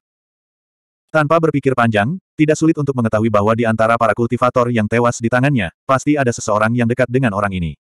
Bahkan jika dia tidak membalas dendam, dia tidak ingin hidup lagi. Namun, dia seharusnya sangat jelas tentang kekuatan Sang Fan. Jadi bagaimana jika tidak ada harapan untuk membalas dendam? Dia bahkan mempertaruhkan nyawanya untuk melukai Zhang Fan sedikit dan memberinya sedikit masalah lagi. Zhang Fan tidak tahu apakah dia pemberani atau impulsif, tetapi dia tidak peduli. Tujuan orang ini benar-benar membantunya mencapai sebagian darinya. Setelah penundaan ini, si Tuya sudah lari jauh. Dia bukan lagi sepotong daging gemuk di sisi mulutnya seperti sebelumnya. Yang lebih buruk adalah dia samar-samar melihat sosok-sosok berkelebat di perkemahan prefektur Yong dan Liang. Malam yang panjang penuh dengan masalah. Zhang Fan tidak berani menunda lebih lama lagi. Tubuhnya bergerak, berubah menjadi kilatan cahaya. Dalam beberapa kilatan, ia dengan cepat mendekati si Tuya yang melarikan diri. Sambil berlari dengan panik, si Tuya sesekali menoleh ke belakang seperti orang lain. Ketika dia melihat Zhang Fan muncul, dia terkejut, dan ekspresi di wajahnya langsung menjadi sangat menarik. 186. Situ ia berlari menyelamatkan diri, tetapi ketika dia berbalik, dia melihat Zhang Fan, yang tampak seperti iblis yang berapi-api, berlari ke arahnya. Apa yang akan dia lakukan sekarang? Awalnya dia tertegun, lalu dia ketakutan. Wajahnya seperti tikus yang melihat kucing. Dia menjerit memilukan dan bergegas menghindar. Dia jatuh ke tanah seperti meteor. Ketika dia jatuh ke tanah, dia kehilangan keseimbangan seolah-olah dia telah menginjak sesuatu. Situya menjerit dan jatuh ke tanah. Ketika dia mendongak, dia melihat sebuah telapak tangan datang ke arahnya. Dia adalah seorang kultivator pendirian yayasan, tetapi dia bahkan tidak bisa jatuh ketika dia mendarat di tanah. Dapat dilihat betapa terkejutnya dia dan betapa tertekannya Zhang Fan, dan betapa takutnya dia jatuh seperti ini. Pada saat ini, niat membunuh Zhang Fan membara seperti api. Seluruh tubuhnya menembus udara, dipenuhi aura yang ganas dan tak terhentikan. Tepat ketika Situya jatuh ke tanah, Zhang Fan sudah muncul dengan suara ledakan udara. Tanpa henti sedetik pun, api yang mengamuk menutupi telapak tangannya dan menutupinya dengan gemuruh yang keras. Angin kencang meniup rambut Situya, membuat wajahnya yang ketakutan terpelintir. Saat kepalanya hampir hancur seperti semangka, perubahan yang mengejutkan terjadi. Cahaya ungu tiba-tiba muncul. Kecepatannya begitu cepat sehingga tidak dapat dilihat oleh mata telanjang. Pada saat kritis, cahaya itu menghalangi telapak tangan dan kepala. Dong! Suara yang keras, bagaikan lonceng pagi kuil kuno di pegunungan, menyebar jauh dan luas. Saat gelombang suara menyebar, busur listrik yang tak terhitung jumlahnya berputar dan terpancar, menghantam api pelindung Zhang Fan, menciptakan lapisan gelombang. Api di tubuh Zhang Fan bukanlah sesuatu yang dapat terluka oleh busur listrik sekecil itu. Hatinya terbakar amarah, yang bahkan lebih kuat dari api di sekelilingnya. Ada yang berani ikut campur. Sepertinya aku belum cukup membunuh orang. Sejak dia muncul, dia telah membunuh hampir 20 orang. Auranya terus meningkat. Dengan hati pembunuh yang membara sebagai bahan bakarnya, auranya hampir mencapai langit. Pada saat ini, hanya mereka yang berani menghentikannya yang akan muncul di hadapannya. Tidak peduli siapa mereka, dia akan membunuh mereka. Sebelum dia sempat melihat siapa lawannya, niat membunuh Zhang Fan kembali muncul. Sambil mendengus dingin, dia mendorong telapak tangannya ke bawah, dan suara ledakan pun terdengar. Percikan api beterbangan ke segala arah, dan gerutuan teredam terdengar dari jarak yang tidak terlalu jauh. Tiba-tiba dia berbalik dan melihat seorang gadis mungil berusia dua puluhan duduk bersila beberapa ratus kaki jauhnya. Kedua tangannya yang indah saling bertautan, dan dia memegang sebuah lonceng tembaga kecil yang berkelap-kelip dengan kilatan ungu. Pada saat yang sama, tubuhnya yang halus sedikit bergetar, seperti lilin yang tertiup angin yang dapat padam kapan saja. Gigi-gigi halus tercetak di bibirnya, dan tetesan darah merembes keluar. Namun, lonceng perunggu di tangannya tidak bergerak sama sekali. Bahkan, kecemerlangannya menjadi lebih terang.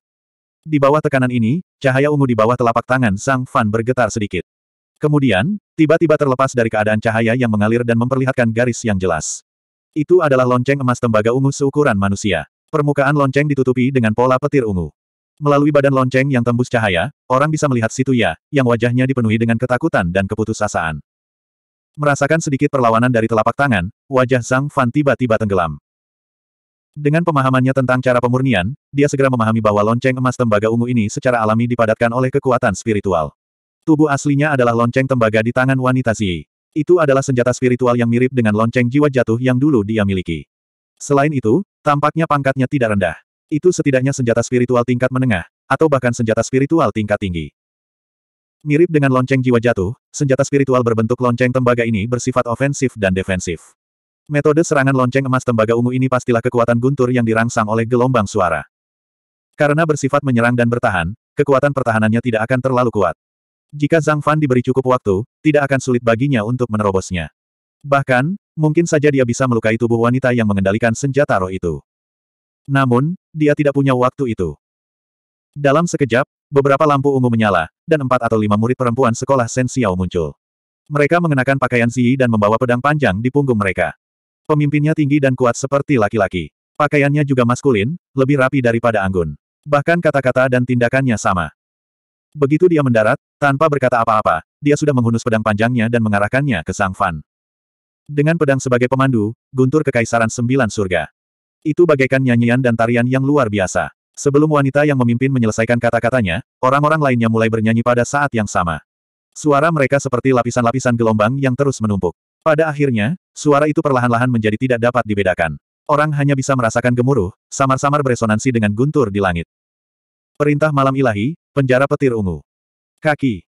Pedang panjang itu menunjuk ke arah Zhang Fan. Pada saat yang sama, cahaya ungu di jari-jari putih mereka begitu pekat hingga hampir terkondensasi. Seolah-olah ada pedang tajam di sini, dan mereka menunjuk ke arahnya secara serempak. Dalam sekejap, awan yang setebal tinta dan berkelap-kelip dengan cahaya ungu itu tampaknya telah menerima perintah. Tanpa ragu sedikit pun, puluhan pilar petir setebal pergelangan tangan dan sebesar ember jatuh dari langit. Ke mana pun pilar petir itu lewat, pilar itu membawa serta busur listrik ungu yang tak terhitung jumlahnya, berkelok-kelok dan melesat ke segala arah. Adapun pilar petir itu sendiri, tampaknya diarahkan oleh pedang. Posisi beberapa jari menyambar lurus ke bawah, dan dari awal hingga akhir, pilar itu samar-samar menyelimuti sekeliling Sang Fan. Seolah-olah tidak peduli bagaimana dia menghindar, dia pasti akan menghadapi beberapa pilar petir. Jika dia tidak bergerak, itu akan menjadi lebih buruk. Langit dipenuhi cahaya ungu. Zhang Fan, yang berada di tengah semua serangan, memiliki lapisan cahaya ungu di wajahnya, yang membuat wajahnya tampak lebih dalam. Seperti lautan tanpa batas, tampak tenang, tetapi ombak mengerikan itu samar-samar terbentuk. Sejak kemunculan para kultivator wanita dari Sekte Sen Xiao, salah satu dari mereka bertugas menyelamatkan Zhang Fan, sementara yang lainnya langsung menyerang dengan tertib. Jelas bahwa mereka telah merencanakan ini sebelumnya. Selain itu, mantra Dharma mereka tampaknya tidak digunakan untuk mengusir Zhang Fan, tetapi untuk membuatnya tetap tinggal. Bagus, bagus. Jika kau ingin membunuhku, kau harus melihat apakah kau mempunyai kemampuan untuk melakukannya. Aku juga ingin membunuhmu. Zhang Fan tertawa terbahak-bahak, tetapi tidak ada sedikit pun senyum di matanya. Sebaliknya, ada tekad dan dingin yang menyilaukan. Pada saat yang sama, tangan kirinya yang telah memegang lonceng emas tembaga ungu tiba-tiba mengendur, berputar, dan berputar, seolah-olah dia sedang memegang sesuatu di tangannya. Gerakan ini sangat cepat dan kecil. Di bawah naungan langit yang dipenuhi cahaya ungu, beberapa kultivator wanita di sisi yang berlawanan tidak menyadarinya, tetapi itu tidak luput dari pandangan Situya. Di bawah lonceng emas tembaga ungu, Situya sangat gembira saat melihat ini. Dia pikir penyelamatan dan serangan saudara perempuannya akhirnya membuat bintang jahat ini mundur. Namun, saat dia merasa lega, jantungnya tiba-tiba menegang, seolah-olah ada tangan besar yang tiba-tiba meremas ujung jantungnya. Dia sangat gugup hingga hampir mati lemas. Dia mendongak dan melihat dengan jelas bahwa dengan gerakan Zhang Fan, sebuah bola merah menyala jatuh ke telapak tangannya, dan dia tiba-tiba meremasnya. Lalu, Sebelum dia bisa menebak fungsi bola itu, dia melihat tangan yang terkepal itu tiba-tiba menyala, seolah-olah ada matahari kecil yang bersembunyi di dalamnya, dan api yang paling ganas pun menyembur keluar, seolah-olah ingin menerobos kegelapan dan melompat keluar dari laut. Cahaya yang menyilaukan itu membuat si Tuya yang tidak sempat memejamkan mata, berlinang air mata, tetapi dia tidak berani untuk rileks. Dia menatapnya dengan saksama, dan melihat gelombang api yang melonjak, langsung menyembur keluar, menggunakan telapak tangan sebagai jembatan, dan langsung menutupi seluruh tubuh Sang Fan. Dalam sepersekian detik, api yang memenuhi langit menerobos segalanya. Api itu seperti pilar api yang menjulang ke langit. Tiba-tiba api itu naik beberapa puluh kaki, dan suara ledakan bergema. Tanpa penundaan, langit langsung berubah menjadi merah. Awan merah berubah menjadi merah, dan kilat ungu bersaing untuk bersinar terang. Dengan tubuh Zhang Fan sebagai pusatnya, seolah-olah pilar api raksasa membakar seluruh langit. Api itu melonjak dan meledak, langsung membakar jembatan vakum di udara. Udara di sekitarnya, kilat, dan halilintar bahkan tidak memiliki waktu tunda sedikitpun. Mereka berputar tak terkendali dan langsung terisi. Inilah kekuatan alam yang luar biasa, bahkan sihir malam surgawi yang dikenal mampu memerintahkan Guntur, bagaimana mungkin bisa berubah. Guntur Kekaisaran Surga ke-9, sangkar petir ungu, dengan mudahnya berubah menjadi petir kecil yang tak terhitung jumlahnya, bertabrakan satu sama lain di pilar vakum, dan langsung musnah. Bagaimana ini mungkin? Pada saat yang sama, beberapa kultivator wanita, yang penuh percaya diri dan berharap melihat Zhang Fan berjuang dalam petir ungu dan kemudian tersengat listrik menjadi arang, muncul di wajah mereka pada saat yang sama. Wanita terkemuka yang tinggi dan cantik itu bahkan berseru dengan tangannya menutupi mulutnya, matanya penuh dengan ketidakpercayaan. Pilar api yang terkonsentrasi tampaknya tidak dapat membakar api di tubuh Zhang Fan sama sekali. Begitu seruan itu berhenti, suara api menjadi lebih kuat, dan cahaya merah yang menyilaukan secara bertahap memberikan perasaan bahwa itu sangat panas sehingga tidak dapat dilihat secara langsung. Langit ketiga, api pertama, puncak api biasa. Harta, surga ketiga, yang sebelumnya dipegang Zhang Fan adalah harta, surga ketiga.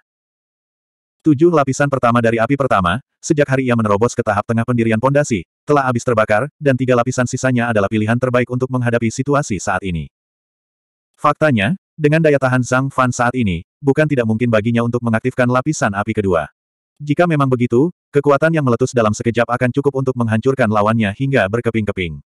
Namun, beberapa wanita di depannya ini tidak layak untuk disia-siakan. Tangan yang memegang lapisan surgawi ketiga tiba-tiba mengencang. Puncak api fana, semua api yang tersisa dari lapisan surgawi pertama tidak lagi tertahan, dan semuanya mengalir ke tubuhnya. Dalam sekejap, gelombang panas yang mengerikan melonjak keluar, menyapu, dan segala sesuatu dalam radius seribu kaki diwarnai merah. Di tengah cahaya merah menyala itu, semua orang tiba-tiba merasa seolah-olah mereka tidak bisa bernapas. Seolah-olah mereka tidak menghirup udara, tetapi pasir merah yang terus-menerus dipanggang dalam kobaran api. Seluruh paru-paru mereka merasakan sakit yang luar biasa, seolah-olah mereka terbakar. Tidak sesadar seperti saat dia tenggelam dalam pencerahan tadi, saat ini, Zhang Fan hanya merasakan bahwa kekuatan sumber api yang luar biasa dahsyat tengah melonjak di dalam tubuhnya, dan seluruh dirinya menjadi luar biasa kuatnya, tubuhnya seperti gunung berapi besar yang hendak meletus, dan hatinya hanya dipenuhi oleh keinginan kuat untuk melampiaskannya. Inilah yang benar-benar diinginkannya. Dengan jentikan telapak tangannya, langit ketiga menghilang, dan di saat yang sama, dia tampak tidak melakukan apa pun, hanya membaliknya, dan dengan suara keras, langit itu menutupi lonceng tembaga ungu. Ledakan. Seperti embun, seperti kilat, seperti mimpi, lampu listrik menyala dengan hebat, dan seluruh lonceng tembaga ungu tampaknya tidak memiliki daya untuk melawan, seperti gelembung, tiba-tiba menghilang. 187. Lonceng emas tembaga ungu, di bawah telapak tangan Zhang Fan yang mengerikan, bahkan tidak dapat tertunda sejenak dan langsung runtuh. Pada saat yang sama, terdengar teriakan dari jarak puluhan kaki. Di sana, wanita mungil yang bertugas melindungi Situya dengan lonceng emas tembaga ungu di tangannya memuntahkan seteguk darah hampir bersamaan dengan lonceng itu runtuh.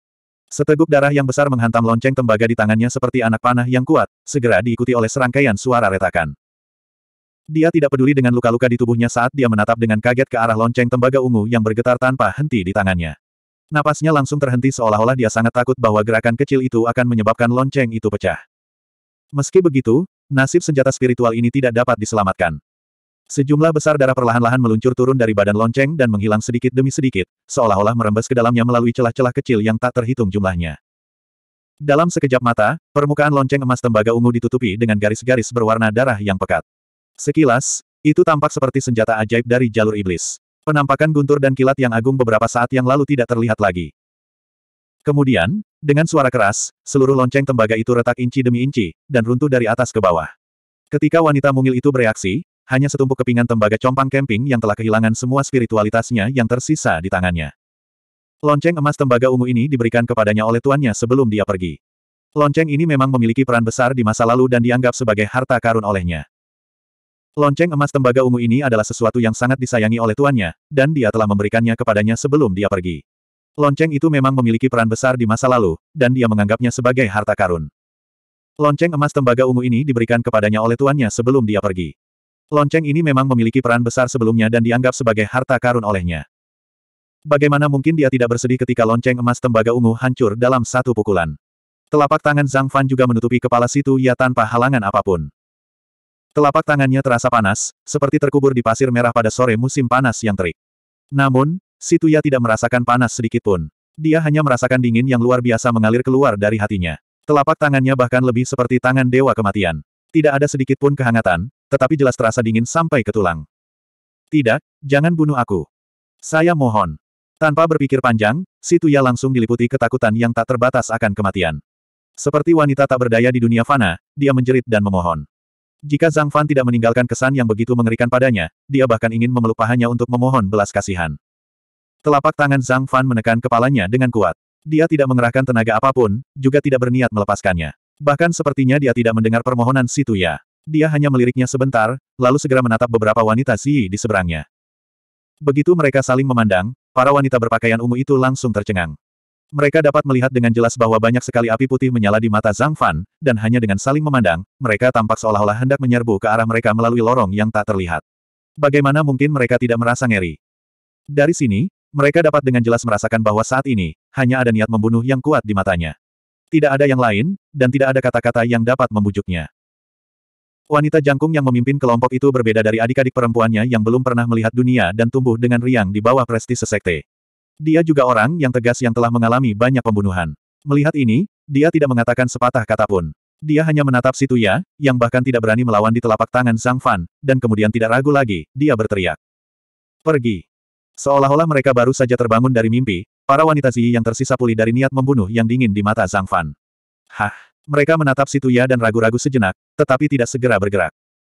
Melihat ini, hati wanita jangkung itu dipenuhi dengan penyesalan yang tak terbatas. Jika dia tahu ini akan terjadi, dia tidak akan melindungi adik perempuannya sedekat ini. Pada saat ini, orang di depan mereka jelas telah mengaktifkan beberapa metode rahasia yang luar biasa untuk meningkatkan kekuatan sihirnya. Selain itu, Situya sudah ada di telapak tangannya. Belum lagi mereka, bahkan seorang Grandmaster formasi inti tidak dapat menyelamatkannya.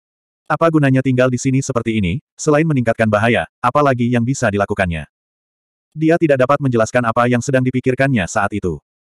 Tepat ketika dia hendak mencaci maki mereka dan memaksa mereka pergi menggunakan statusnya sebagai suster senior, sebuah suara santai yang terdengar seperti undangan ke sebuah pesta terdengar. Seketika, hatinya hancur dan tubuhnya menjadi dingin. Karena kamu sudah datang, jangan pergi. Dengan Situya sebagai teman, kamu tidak akan kesepian di jalan menuju neraka. Tiba-tiba, dia menoleh ke belakang dan melihat cahaya yang menyilaukan muncul. Kepala di tangan Zhang Fan tampaknya bukan kepala manusia, melainkan matahari yang bersinar terang. Saya mohon padamu. Suara mengemis itu tiba-tiba berhenti. Bahkan teriakan kesakitan pun tidak terdengar, lalu suasana menjadi sunyi. Cahaya itu mengalir, dan di tangan Zhang Fan, hanya ada kepala yang penuh dengan kengerian, rasa sakit, dan ketidakpercayaan. Kepala, tubuh, pakaian, dan benda-benda lainnya semuanya berubah menjadi abu dan berserakan. Dengan jentikan tangannya, kepala itu melayang jauh. Tidak diketahui apakah itu disengaja atau tidak, tetapi kepala itu mengenai tubuh Li Gong, dan mereka berguling membentuk lingkaran. Kedua kepala itu berdampingan, dan selain rasa takut dan sakit yang tak berujung, ada juga penyesalan. Pada saat kematian, apakah mereka menyesalinya? Ini adalah sesuatu yang tidak diketahui Zhang Fan, dan dia tidak ingin mengetahuinya.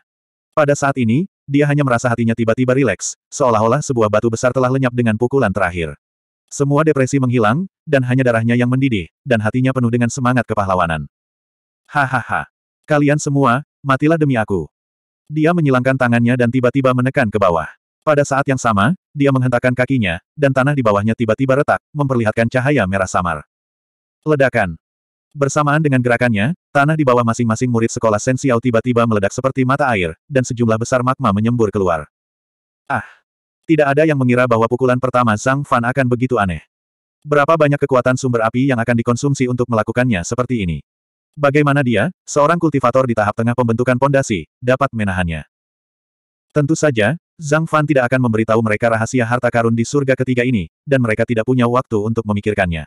Ketika magma tiba-tiba muncul dan menyembur keluar, beberapa murid sekolah Sensiao juga buru-buru menanggapi.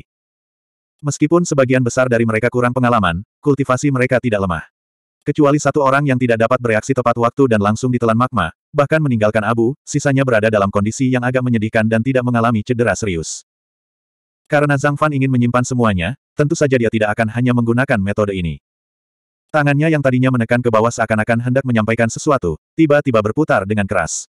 Kesepuluh jarinya berputar seakan-akan sedang memainkan sitar, dan setiap kali jarinya bergerak, akan ada api putih yang terpisah dari tubuhnya dan ditekan ke tanah bersama angin dari jarinya.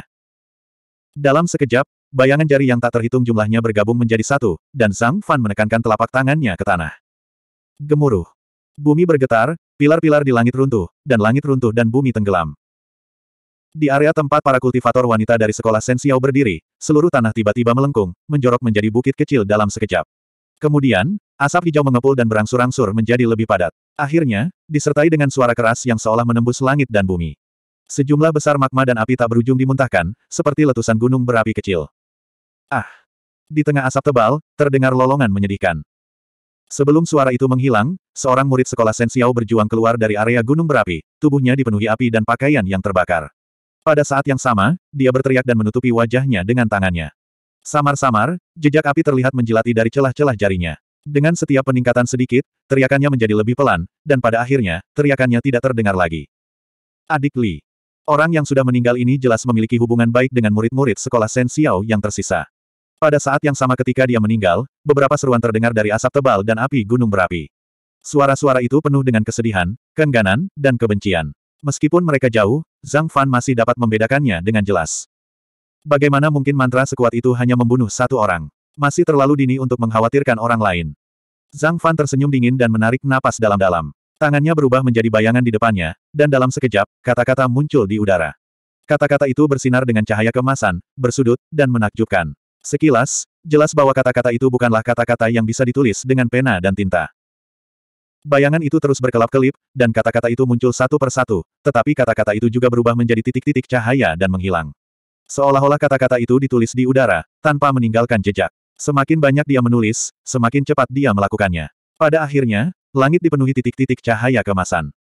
Tiba-tiba dia berhenti dan mengeluarkan suara gemuruh yang panjang. Seketika, cahaya itu menyala-nyala, menutupi seluruh dunia. Baik itu api di tubuh Zhang Fan, magma di tanah, gunung berapi yang meletus, atau energi api asli di seluruh area, semuanya tersedot ke udara pada saat yang sama saat raungan panjang dilepaskan. Mereka bergabung dengan semua titik cahaya kemasan dan mengembun menjadi awan merah besar yang hampir tak terbatas dan menyebar. Api nirwana, api neraka. Muncul. Tak ada suara, seolah-olah suaranya terlalu keras untuk didengar. Ke mana pun awan merah itu menyebar, setiap jejak udara dan setiap butir debu tampaknya telah menjadi bahan bakar terbaik. Tanpa peringatan apa pun, nyala api yang tak terukur langsung menyala, menutupi seluruh ruang dan segalanya. Seluruh area itu tiba-tiba menjadi neraka dan api nirwana membakar segalanya. Sosok beberapa murid sekolah Sensiao semuanya tertutup api, dan mereka tidak dapat terlihat lagi. Hanya teriakan samar, pendek, dan tidak jelas yang dapat terdengar, dan kemudian mereka berhenti dalam sekejap. Ini adalah teknik hebat yang tercatat dalam kebenaran matahari agung. Dengan kemampuan ilahi Zhang Fan sendiri, mustahil baginya untuk menggunakannya. Alasannya tidak lain adalah kenyataan bahwa ia tidak dapat memperoleh energi sumber api yang tak terbatas. Jika dia menggunakan mutiara naga api sembilan sebagai persediaan, dia hampir tidak bisa menggunakannya. Namun, Atribut apinya berbeda, dan kekuatannya sangat berkurang.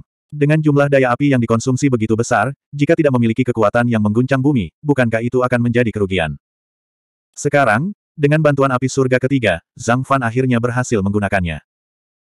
Namun, setelah beberapa saat, saat raungan panjang Zhang Fan berhenti, awan merah besar itu tampaknya telah menghabiskan semua energinya. Awan itu bergetar dan tiba-tiba menghilang. Gunung berapi di bawah berhenti meletus, dan magma tidak lagi menyembur keluar. Segalanya tampak kembali normal. Hanya ada beberapa mayat yang tidak dapat dikenali tergeletak di tanah, semuanya seperti arang. Orang tidak perlu melihat lebih dekat untuk mengetahui bahwa mereka telah mati. Zhang Fan tersenyum tipis, dan hendak berbalik dan pergi. Namun setelah berjalan dua langkah, dia tiba-tiba merasa ada yang tidak beres. Dia tiba-tiba menoleh ke belakang, dan matanya menyapu mayat-mayat itu, lalu tiba-tiba membeku. Tidak, satu pun hilang. 188. Hem, satu hilang. Zhang Fan berhenti dan berbalik. Pada saat ini, kekuatan spiritual dalam tubuhnya melonjak dan meluap. Setiap gerakan yang dilakukannya dipenuhi dengan kekuatan yang tak terbatas. Bagaimanapun, dia mengandalkan kekuatan eksternal dan bukan kerja kerasnya sendiri, jadi kendalinya sedikit lebih lemah. Hanya tindakan kecil berhenti dan berbalik ini membuat suara retakan dan meninggalkan jejak kaki setebal tiga inci di tanah. Begitu suara ini menyebar, bunyinya bagaikan siulan panjang di kedalaman hutan lebat, mengusik burung-burung yang tak terhitung jumlahnya. Dengan suara keras, mayat yang hangus itu terbang ke atas. Tepat saat mayat itu terbalik di udara, suara gemuruh terdengar dari bawah. Itu tidak seperti kekosongan guntur yang bergema di antara awan. Sebaliknya, itu seperti kekuatan spiritual dalam tubuh yang menirukan tabrakan awan gelap, dan suara ledakan itu datang dari dalam. Ledakan. Petik 2. Petir menyambar dan guntur bergemuruh, bukan dari langit, tetapi dari tanah. Sosok itu baru saja muncul di bawah gumpalan hitam hangus itu. Setelah melirik Zhang Fan sebentar, sosok itu berubah menjadi sambaran petir dan menghilang dalam sekejap. Seperti sambaran petir, ia menerobos halangan angin dan bergemuruh saat menuju langsung ke perkemahan Yong dan Liang. Kecepatan kilat selalu menjadi salah satu yang terbaik di dunia. Para kultivator sekolah Sensiao menghususkan diri dalam hal kilat. Seni ilahi pelarian petir milik orang ini mungkin merupakan teknik rahasia mereka untuk menyelamatkan nyawa. Kecepatannya memang sangat cepat. Setiap kali berkedip, ia akan menempuh jarak ratusan meter. Semua ini terjadi dalam waktu yang dibutuhkan percikan api untuk terbang dari batu api, tetapi di bawah tatapan Zhang Fan yang sepenuhnya terfokus, dia tidak melewatkan sedikit pun. Ketika orang ini menyingkirkan mayat itu, dia sangat lembut, seolah-olah dia tidak tega menyakitinya. Ketika dia berbalik untuk melihatnya, tatapannya penuh dengan kebencian. Tatapan kebencian yang tak terlupakan dan tak terlupakan seperti itu adalah sesuatu yang jarang dia lihat dalam hidupnya. Tatapan seperti itu baru saja menghilang, tetapi dalam sekejap mata, tangga darurat sudah berada ratusan meter jauhnya. Baru kemudian mayat yang telah terlempar itu jatuh ke tanah dengan bunyi gedebuk yang tumpul. Hahaha, petik 2. Apakah kamu pikir kamu dapat melarikan diri seperti ini? Melihat kebencian dan kekesalan di mata pihak lain, Zhang Fan bukan saja tidak takut, dia bahkan tertawa terbahak-bahak. Dia dapat melihat dengan jelas bahwa orang yang melarikan diri itu adalah wanita mungil yang menggunakan lonceng emas tembaga ungu untuk melindungi Situya. Hubungan antara wanita itu dan kultivator wanita jangkung yang memimpin kelompok itu jelas tidak biasa. Kalau tidak, orang itu tidak akan berusaha sekuat tenaga untuk menutupinya dengan tubuhnya sebelum dia meninggal dan akhirnya mengampuni nyawanya. Tapi lalu kenapa? Di dunia ini, sekolah Sensiao bukanlah satu-satunya sekolah yang memiliki teknik rahasia semacam ini. Burung gagak emas menjerit panjang ketika api membumbung tinggi ke angkasa. Bola api yang berkobar menyambar dan menyelimuti seluruh tubuh Sang Fan. Bola api itu langsung runtuh dan berubah menjadi jembatan pelangi yang menyala-nyala. Dalam sekejap, bola api itu melintasi jarak seratus kaki dan mengikuti dari dekat lampu pelarian petir. Pada saat ini, energi api di tubuh Zhang Fan praktis tak terbatas, dan mengedarkan api peleleh gagak emas menjadi lebih mudah. Kecepatannya langsung terpacu hingga batas yang belum pernah dicapainya seumur hidupnya. Suara udara yang meledak dan robek baru saja terdengar ketika ditinggalkan. Serangkaian ledakan melemparkan lapisan awan yang tak terhitung jumlahnya ke dalam kekacauan, dan itu seperti ekor naga besar yang bergoyang di belakang. Dalam sekejap, dua bayangan, satu ungu dan satu merah, satu kilat dan satu api, melesat melintasi langit dan saling mengejar, serta menarik perhatian semua orang. Sejak Zhang Fan muncul dengan mengejutkan, pertempuran sengit tak pernah berhenti. Dia perkasa dan tak terbatas, dan dia telah membunuh puluhan orang berturut-turut. Gelombang demi gelombang, menyebabkan semua orang tak bisa bernapas. Untuk beberapa saat, para penonton tidak dapat menahan rasa kebingungan. Jika seseorang melihat proses yang dahsyat itu, sepertinya waktu yang lama telah berlalu. Jika seseorang melihat kembali ke barat, seseorang akan dapat melihat bahwa matahari yang telah terbenam di barat masih memperlihatkan separuhnya saat ini, dan seberkas warna jingga dan merah mewarnai lapisan awan menjadi merah. Pada saat ini, ketika mereka melihat Zhang Fan akhirnya membalas dendam besarnya, tak peduli apakah ketiga musuhnya itu ganas atau pengecut, kuat atau lemah, tak peduli seberapa keras mereka berjuang, tak peduli seberapa keras yang lain berusaha menyelamatkan mereka, pada akhirnya mereka tetap tak mampu lolos dari kematian. Sampai sekarang, Ketika mereka melihat bahwa dia masih tidak mau menyerah dan benar-benar tanpa malu mengejar orang terakhir yang membunuhnya menuju perkemahan Yong dan Liang, perasaan berdebar-debar muncul tanpa sadar. Saat mereka menatap cahaya api yang semakin dekat dan dekat dengan cahaya pelarian petir ungu, mereka tidak bisa menahan rasa hormat secara bertahap. Itu seperti ketika seekor harimau berjongkok, bahkan seekor lalat pun berani mendekatinya, dan ketika ia bersiul di hutan, semua binatang akan gemetar dan tidak berani menatapnya secara langsung. Di dalam cahaya petir ungu itu, ekspresi gadis mungil itu berangsur-angsur berubah. Kebencian dan dendam di wajahnya lenyap, dan yang menggantikannya adalah teror yang pekat dan perasaan tak berdaya. Meskipun dia tidak berani menoleh ke belakang, tetapi siulan yang memenuhi langit dan suara udara yang terbakar dan meledak masih memasuki telinganya dengan jelas. Terlebih lagi, suara itu semakin dekat dan keras. Seketika, teror yang tak terbatas memenuhi hatinya. Bagaimana ini bisa terjadi? Bagaimana ini bisa terjadi? Kata-kata yang sama terus terulang dalam benaknya hingga tanpa sadar ia menggumamkannya sendiri. Wanita mungil itu tidak dapat mempercayainya. Ia telah menggunakan teknik rahasia Sekte Sensiao, yaitu Purple Pole Lightning Escape, yang konon tidak dapat dilacak dan dapat menempuh jarak ribuan kilometer dalam sekali jalan. Bagaimana mungkin seseorang masih dapat mengejarnya? Kecepatan Purple Pole Lightning Escape sangat cepat, tetapi juga merupakan beban yang sangat besar bagi tubuh. Hanya mereka yang memiliki bakat luar biasa yang dapat mempraktikannya. Di antara para saudari bela diri dari generasi yang sama, hanya dua atau tiga yang ditakdirkan untuk mempraktikannya. Bahkan jika seorang kultivator inti palsu ingin mengejar kekuatan magis yang begitu besar, mereka hanya bisa mengandalkan momentum gempa susulan untuk mengejarnya secara perlahan. Sama sekali tidak mungkin bagi mereka untuk menjadi seperti iblis di belakang mereka dan dengan paksa memperpendek jarak di antara mereka. Setelah beberapa saat, gelombang panas samar sudah datang dari belakangnya. Seolah-olah dalam sekejap mata berikutnya, gelombang itu akan menerkamnya dan membakarnya menjadi abu. Tampaknya kartu truf penyelamat hidupnya yang paling ampuh tidak lagi dapat diandalkan. Gadis mungil itu merasa seolah-olah pilar yang menopang surga telah runtuh di dalam hatinya. Dia tidak dapat lagi menahan rasa takutnya yang tak terbatas. Dia tidak dapat menahan diri untuk tidak berteriak minta tolong. Tolong aku. Tepat saat dia berteriak minta tolong, petir menyambar tubuh mungilnya dan melesat lewat. Sulit untuk mengatakan apakah tubuhnya atau suaranya yang datang lebih dulu. Pada saat ini, dia tidak peduli. Seolah-olah dia akan mati lemas jika dia tidak berteriak. Teriakan minta tolong gadis mungil itu tidak berhenti. Dia mengerahkan kekuatan spiritualnya hingga batasnya. Suara guntur perlahan mendekati gerbang perkemahan. Sebenarnya, dia tidak perlu berteriak. Para kultivator dari Provinsi Yong dan Liang, yang telah menonton dari pinggir perkemahan, telah berkumpul. Mereka berdiri di perkemahan, dipisahkan oleh sebuah gerbang, dan menyaksikan pengejaran dari pinggir. Tidak semua orang memiliki hubungan yang baik dengan Sekte Setan Darah dan Sekolah Sensiao. Di antara mereka, tidak ada kekurangan persaingan, kebencian, dan sebagainya. Jadi, pada awalnya, ketika mereka melihat Zhang Fan membantai para kultivator Sekte Setan Darah dan Sekolah Sensiao, mereka sebagian besar bersikap acuh tak acuh dan bahkan diam-diam menikmati kemalangannya. Namun, kini semuanya berbeda. Kekuatan iblis Zhang Fan jauh melampaui ekspektasi mereka. Rasa waspada perlahan muncul dalam diri mereka. Mereka tidak dapat menahan diri untuk bertanya-tanya apa yang akan mereka lakukan jika mereka bertemu di medan perang di masa mendatang. Mungkinkah mereka cocok dengan iblis ini? Pada akhirnya, mereka dipenuhi dengan kemarahan yang benar. Tidak apa-apa dia membunuh sampah-sampah itu, tetapi dia benar-benar berani mengejar mereka ke perkemahan. Apakah dia benar-benar berpikir bahwa tidak ada seorang pun di Provinsi Yong dan Liang? Sedikit kemarahan yang wajar ini tidak cukup untuk membuat mereka keluar dari perkemahan dan berhadapan langsung dengan Sang Fan. Namun, tidak menjadi masalah bagi mereka untuk menghalangi perkemahan dan menunjukkan permusuhan mereka. Purple Pole Lightning Escape memang luar biasa.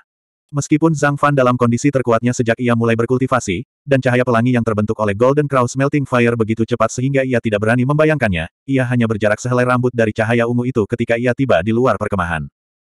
Lebar rambut ini kemungkinan besar adalah jarak antara hidup dan mati. Begitu gerbang itu dilewati, nyawa gadis mungil itu kemungkinan besar akan terselamatkan.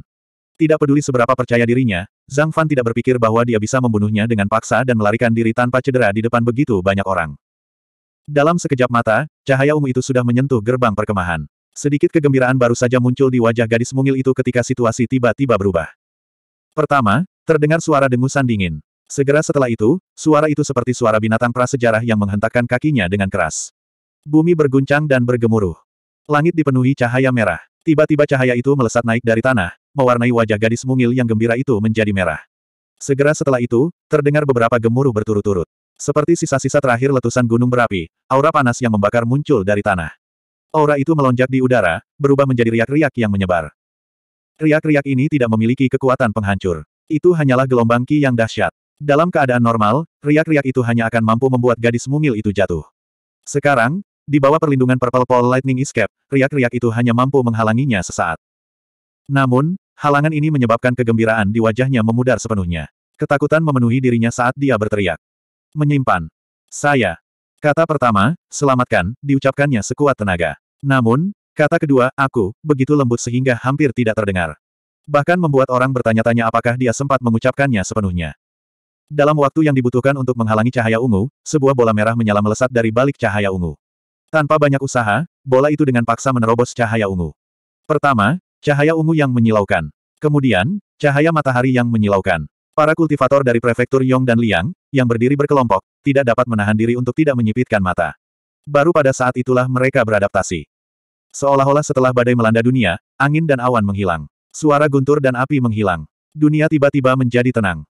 Di bawah tatapan para pembudidaya dari dua prefektur, cahaya yang menyala-nyala itu pertama kali memudar.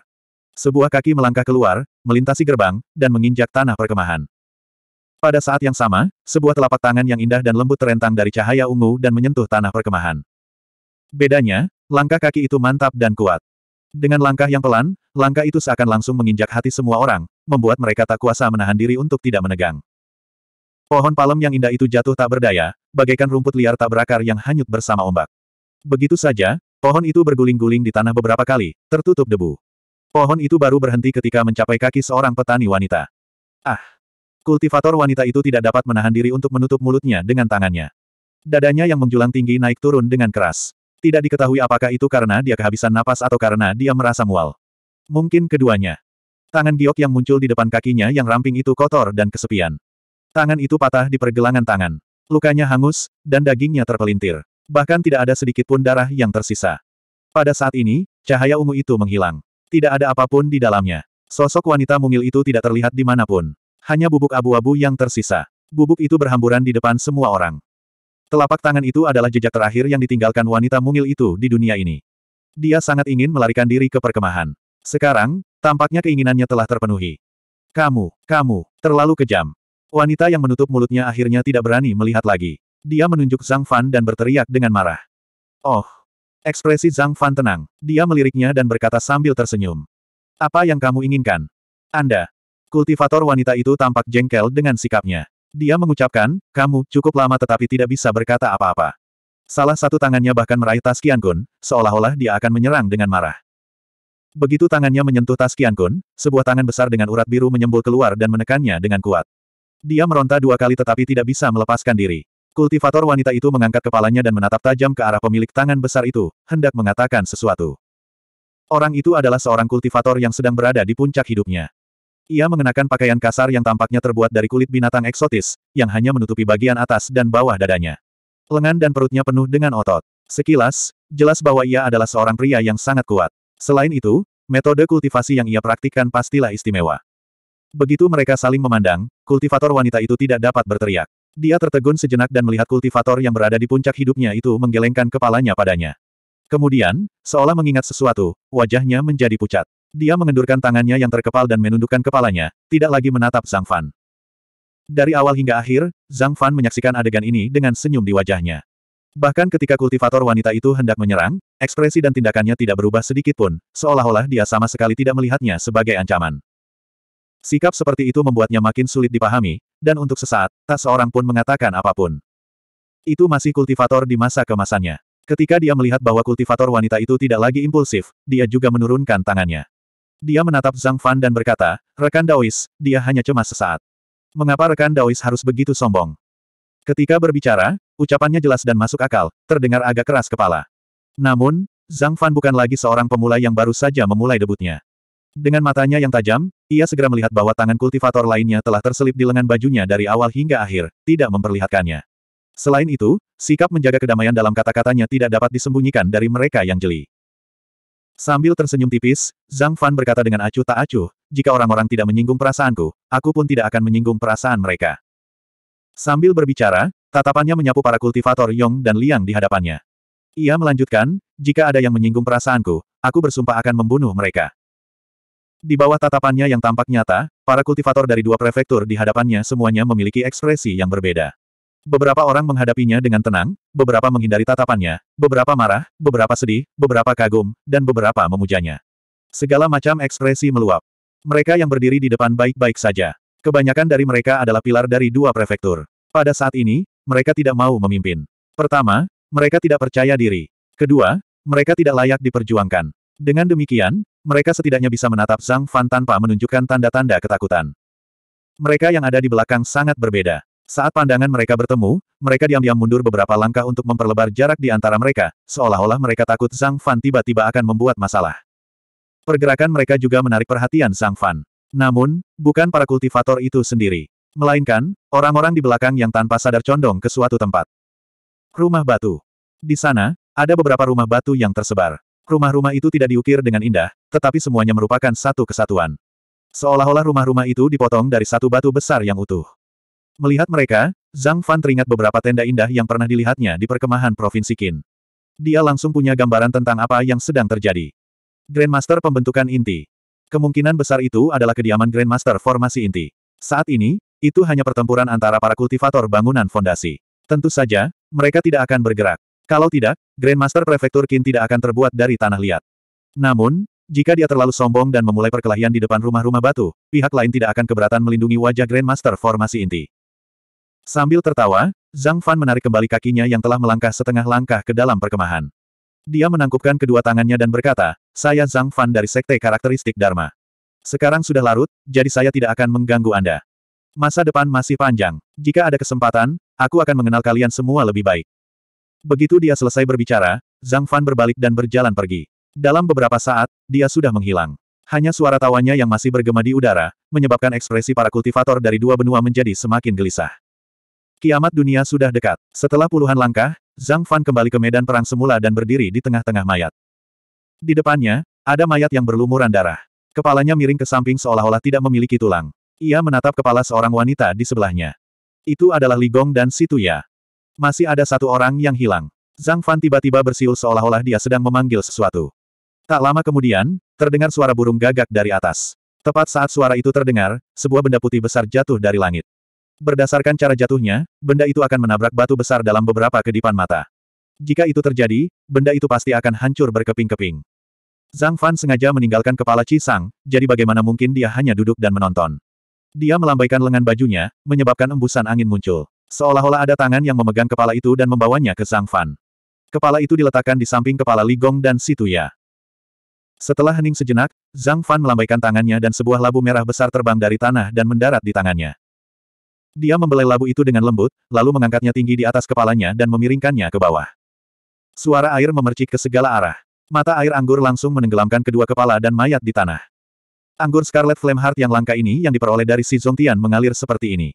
Tampaknya tak ada habisnya dan aroma anggur yang kuat memenuhi udara. Setelah beberapa saat, tangan Zhang Fan berhenti dan mata air anggur berhenti. Ia sedikit bergetar dan sisa anggur mengalir ke mulutnya. Sambil menyeka anggur dari sudut mulutnya, Zhang Fan tersenyum dan membanting labu di tangannya ke tanah. Percikan api menempel pada labu dan langsung jatuh ke tiga orang yang terendam dalam anggur. Dengan suara keras, api pun menyala dan aroma anggur menjadi sangat kuat.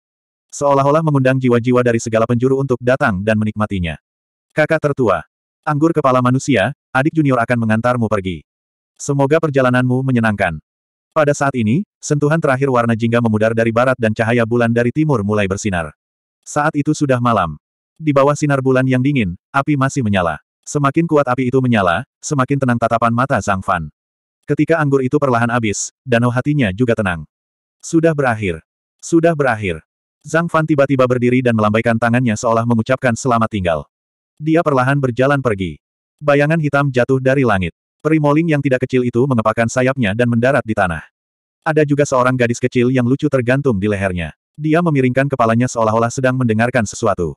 Wajah Zhang Fan tak dapat menahan senyum. Kesombongan yang tersisa menghilang dan dia berkata dengan lembut, Ling Er, paman ada di sini.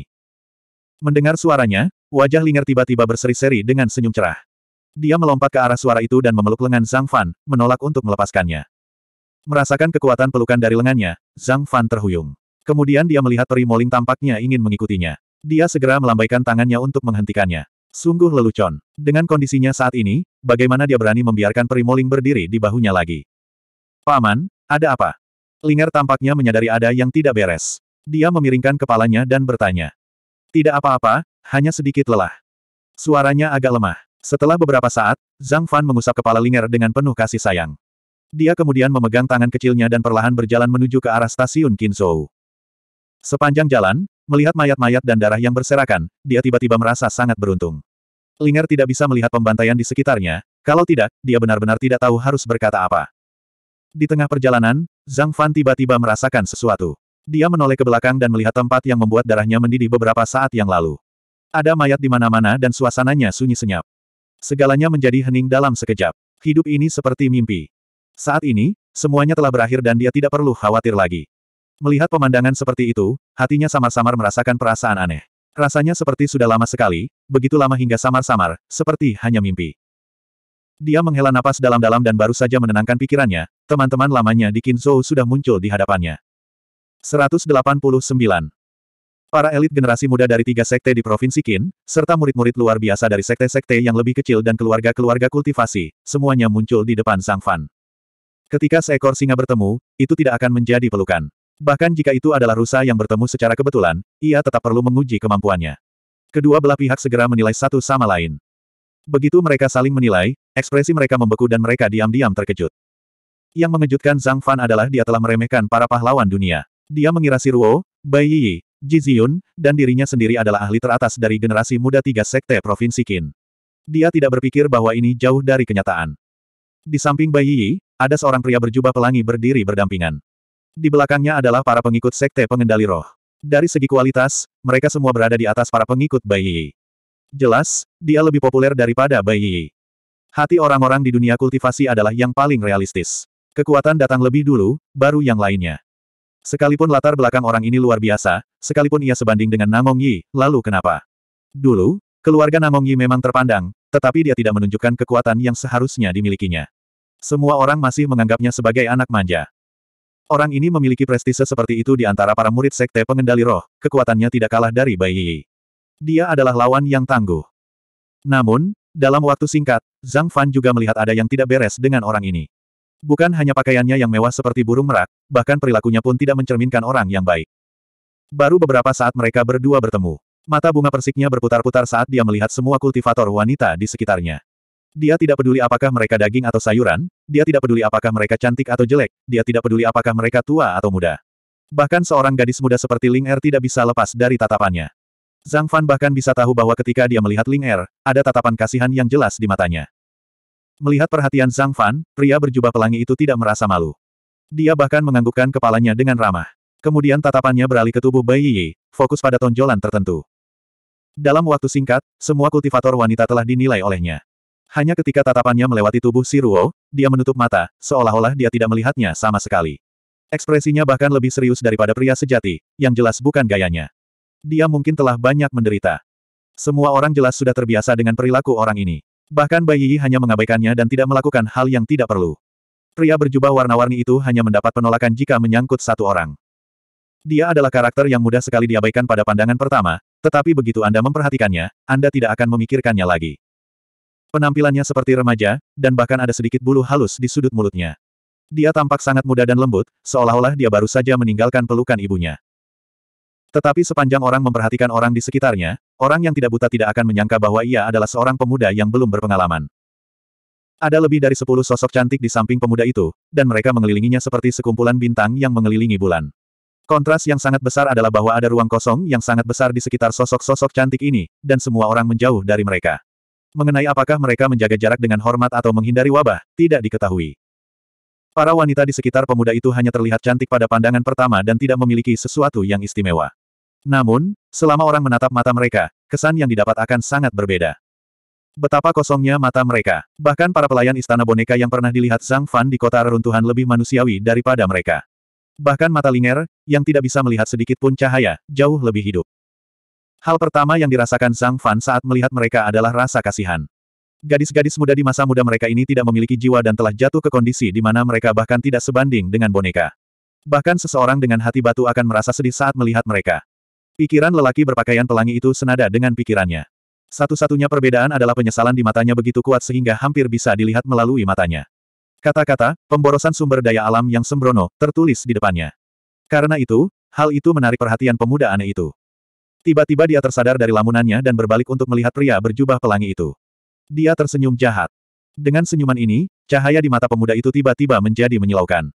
Cahaya itu berkumpul menjadi cahaya yang sangat indah yang tampaknya mampu melahap semua emosi, pikiran, keinginan. Dan semua naluri manusia. Di balik keindahan yang menyilaukan itu, ada teror yang tak terbatas yang sedang terjadi. Pria berpakaian pelangi itu menatap matanya dan tentu saja merasakannya lebih dalam. Namun, dia tidak takut. Sebuah cahaya berkelebat di matanya dan warna merah muda tiba-tiba muncul di pupilnya, langsung menyebar. Jika tadi matanya dikatakan memancarkan nuansa bunga persik, maka saat ini, matanya benar-benar seindah bunga persik. Saling menatap, keduanya terkejut pada saat yang sama. Mereka segera mengalihkan pandangan, memperlihatkan ketakutan di hati masing-masing. Selama proses pengujian gerakan masing-masing, sudut metode kultivasi khusus mereka terungkap di depan Sang Fan.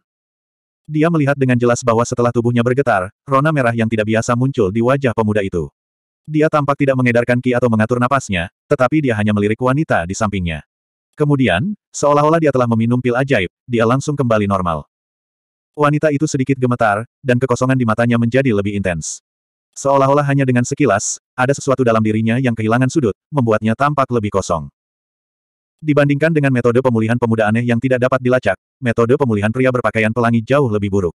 Dia bahkan tidak repot-repot menyembunyikannya. Wajahnya yang tampan terkubur dalam pelukan seorang kultivator wanita yang berpakaian seperti wanita muda yang sudah menikah. Dari belakang, orang bisa melihat bahwa bahunya berkedut tanpa henti. Jelas, kepalanya sangat tidak patuh bahkan di pelukan wanita muda yang sudah menikah itu.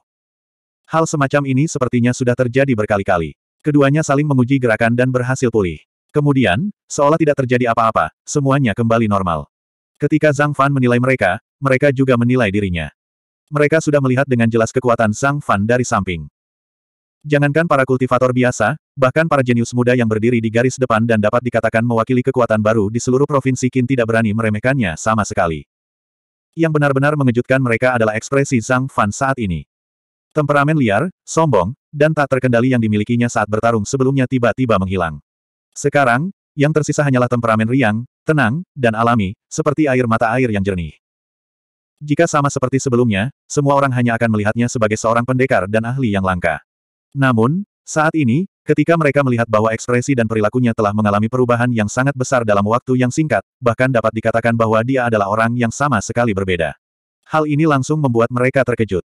Ini sudah merupakan pencapaian dalam kondisi pikiran. Selama kultivasi seseorang mencapai tingkat tertentu, mereka secara alami akan dapat maju ke tingkat berikutnya tanpa gangguan apa pun di hati mereka, yang mencegah mereka untuk maju. Mengetahui hal ini, perhatian semua orang terhadapnya tiba-tiba meningkat ke tingkat yang lain. Ini bukan hanya karena kekuatannya saat ini, tetapi juga karena masa depannya yang tak terbatas.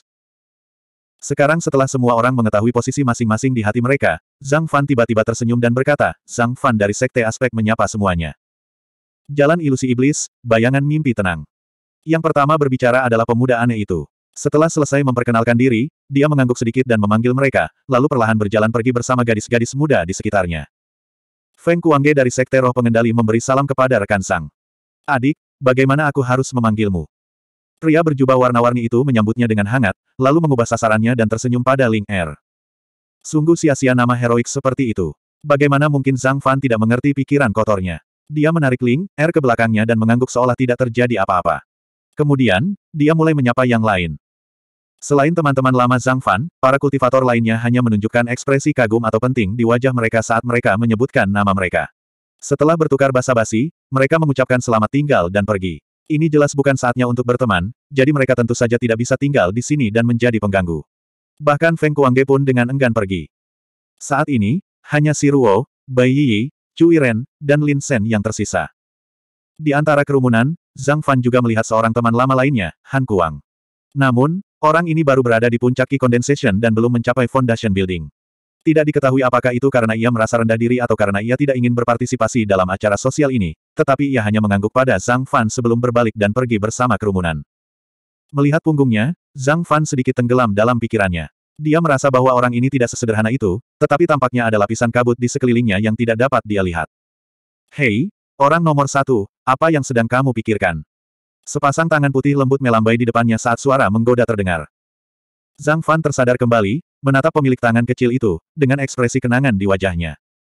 Sudah berapa tahun berlalu, pemandangan di bawah pohon keberuntungan di lembah tanpa kembali seakan terulang di depan matanya, tetapi sekarang sudah sangat berbeda. Orang yang berbicara adalah si Ruo. Seolah-olah waktu tidak sanggup meninggalkan jejak pada seorang gadis yang diberkati oleh surga. Si Ruo dan Bai Yi tampak tidak berbeda dari masa lalu. Yang menggoda tetap menggoda, dan yang polos tetap polos. Semuanya sama seperti sebelumnya. Apa maksudmu dengan nomor satu? Zhang Fan sedikit linglung saat bertanya. Orang nomor satu di bawah tahap Aurus Core. Pakar nomor satu di tahap pendirian yayasan. Dua kata, pertama, ditekankan bersamaan, seolah-olah ada makna tak terhingga di dalamnya. Mendengar hal itu, ia pun terkejut pada awalnya, namun kemudian semua ingatan linglung itu sirna, dan seluruh pribadinya tiba-tiba menjadi tenang. Setelah merenung sejenak, Zhang Fan mencibir dalam hatinya, orang nomor satu. Benar-benar, bermaksud baik. Kakak Zhang, bagaimana? Apakah kamu berani menerimanya? Si Ruo bertanya sambil tersenyum. Kata-katanya sepertinya memiliki makna tersembunyi. Mengapa tidak? Ini adalah pujian semua orang untuk kakak senior. Mendengar perkataan si Ruo, Lin Shen menyela dengan linglung.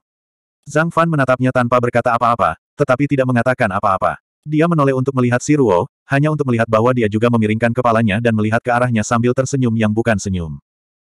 Seperti yang diharapkan dari penyihir kecil itu, pikirannya lebih cerdas daripada anak laki-laki konyol itu. Setelah memujinya secara diam-diam, Zhang Fan terdiam sejenak, lalu berkata. Menerima. Mengapa kamu tidak menerimanya? Kata, terima, bagaikan kentang panas dalam pelukannya, tetapi dia tidak merasa senang maupun sedih, dan ekspresinya acuh tak acuh. Saya tidak bisa mengecewakan, niat baik, beberapa orang. Saat mengatakan hal ini, nada bicara Zhang Fan tenang saat dia melihat ke kejauhan, seolah-olah dia bisa melihat melalui kekosongan tak berujung dan berbisik kepada seseorang. 190. Benar sekali, kakak senior, kamu. Lin Sen bertepuk tangan tanda kagum. Saat hendak mengatakan sesuatu, sebuah tangan besar dan gemuk menutup mulutnya dan menariknya ke samping, tidak tahu harus berkata apa. Pemilik tangan besar itu tidak lupa berbalik dan berkata, kalian lanjutkan saja. Lao Cui, bicaralah dengan bocah konyol ini. Melihat tindakan Cui Ren, Zhang Fan tidak dapat menahan tawa, dan kemudian dia tidak ingin membahas masalah ini lagi. Orang itu dapat menyebarkan rumor begitu cepat di antara seratus orang saja. Tentu saja, dia pasti memiliki beberapa trik tersembunyi. Tidak ada gunanya bertanya lebih banyak tentang masalah ini. Lagi pula, dengan lapisan surga ketiga di tangan, bukan tidak mungkin ia disebut sebagai orang pertama. Beberapa pikiran terlintas di benaknya, lalu dia segera mengesampingkan masalah ini. Ini semua adalah hal di masa depan, dan dia akan menghadapinya saat-saatnya tiba. Pada saat ini, malam semakin gelap, dan cahaya bulan bersinar, mewarnai dunia dengan lapisan warna yang dingin dan tenang. Siruo meregangkan tubuhnya dengan malas, merapikan rambut di dahinya, dan tersenyum lembut, kakak Zhang, aku lelah. Kita bicarakan lain hari saja. Pergelangan tangannya seperti es dan salju, dan terlihat lebih jernih di bawah sinar bulan yang terang. Bahkan Zhang Fan pun linglung sejenak. Kamu juga harus istirahat lebih awal. Suara tawa yang seperti lonceng itu menghilang hingga menghilang di dinding gunung di kejauhan. Di sana tersebar gua-gua sementara milik sekelompok kultivator Kinsu. Bosan, Zhang Fan tak dapat menahan tawa, aku khawatir kamu telah melihat kelemahanku, bukan? Benar saja, saya tidak bisa menyembunyikannya dari orang yang cerdas. Saat ini, kondisinya bisa dikatakan sangat buruk. Tubuhnya lemas dan kosong, dan meridiannya penuh dengan rasa sakit yang bengkak. Jika dia tidak memaksakan diri untuk menopang dirinya sendiri, dia hanya ingin tertidur dan beristirahat selama sepuluh hari atau setengah bulan. Meskipun situasi seperti ini tidak ditunjukkan dengan jelas, jika bisa disembunyikan dari orang-orang pintar ini, kemungkinan besar si Ruo bukan satu-satunya yang mengetahuinya. Hanya saja dia tidak mengatakannya, jika tidak, masalah ini tidak akan menyebar begitu cepat. Bagaimana mungkin Bai Yi yang ada di depannya tidak mengetahuinya? Dia hanya mengangguk dan hendak berbalik dan pergi. Peri putih, harap tunggu. Begitu dia bergerak, suara Zhang Fan datang dari belakang. Hem. Suaranya sangat lembut seperti hujan musim semi yang membasahi segalanya. Suara seperti itu tidak dapat didengar seperti suara logam, dan sebaliknya memiliki gelombang yang sangat indah. Mendengarnya seperti menonton tarian bidadari, dan itu membuat seseorang menjadi sangat mabuk. Jika bukan karena mulutnya yang tertutup rapat dan lonceng emasnya yang bergetar, tidak akan ada yang mengira bahwa orang di depannya adalah seorang yang tuli dan bisu. Kecacatan alaminya berubah menjadi irama yang indah. Mereka benar-benar tidak tahu apakah mereka harus mendesah pada keajaiban kultivasi atau memuji hati dan kecerdasannya yang murni. Di bawah sinar bulan, alisnya sedikit berkerut saat dia melihat ke atas dengan bingung. Suaranya yang merdu bergema di udara, dan sosoknya yang anggun bagaikan lukisan.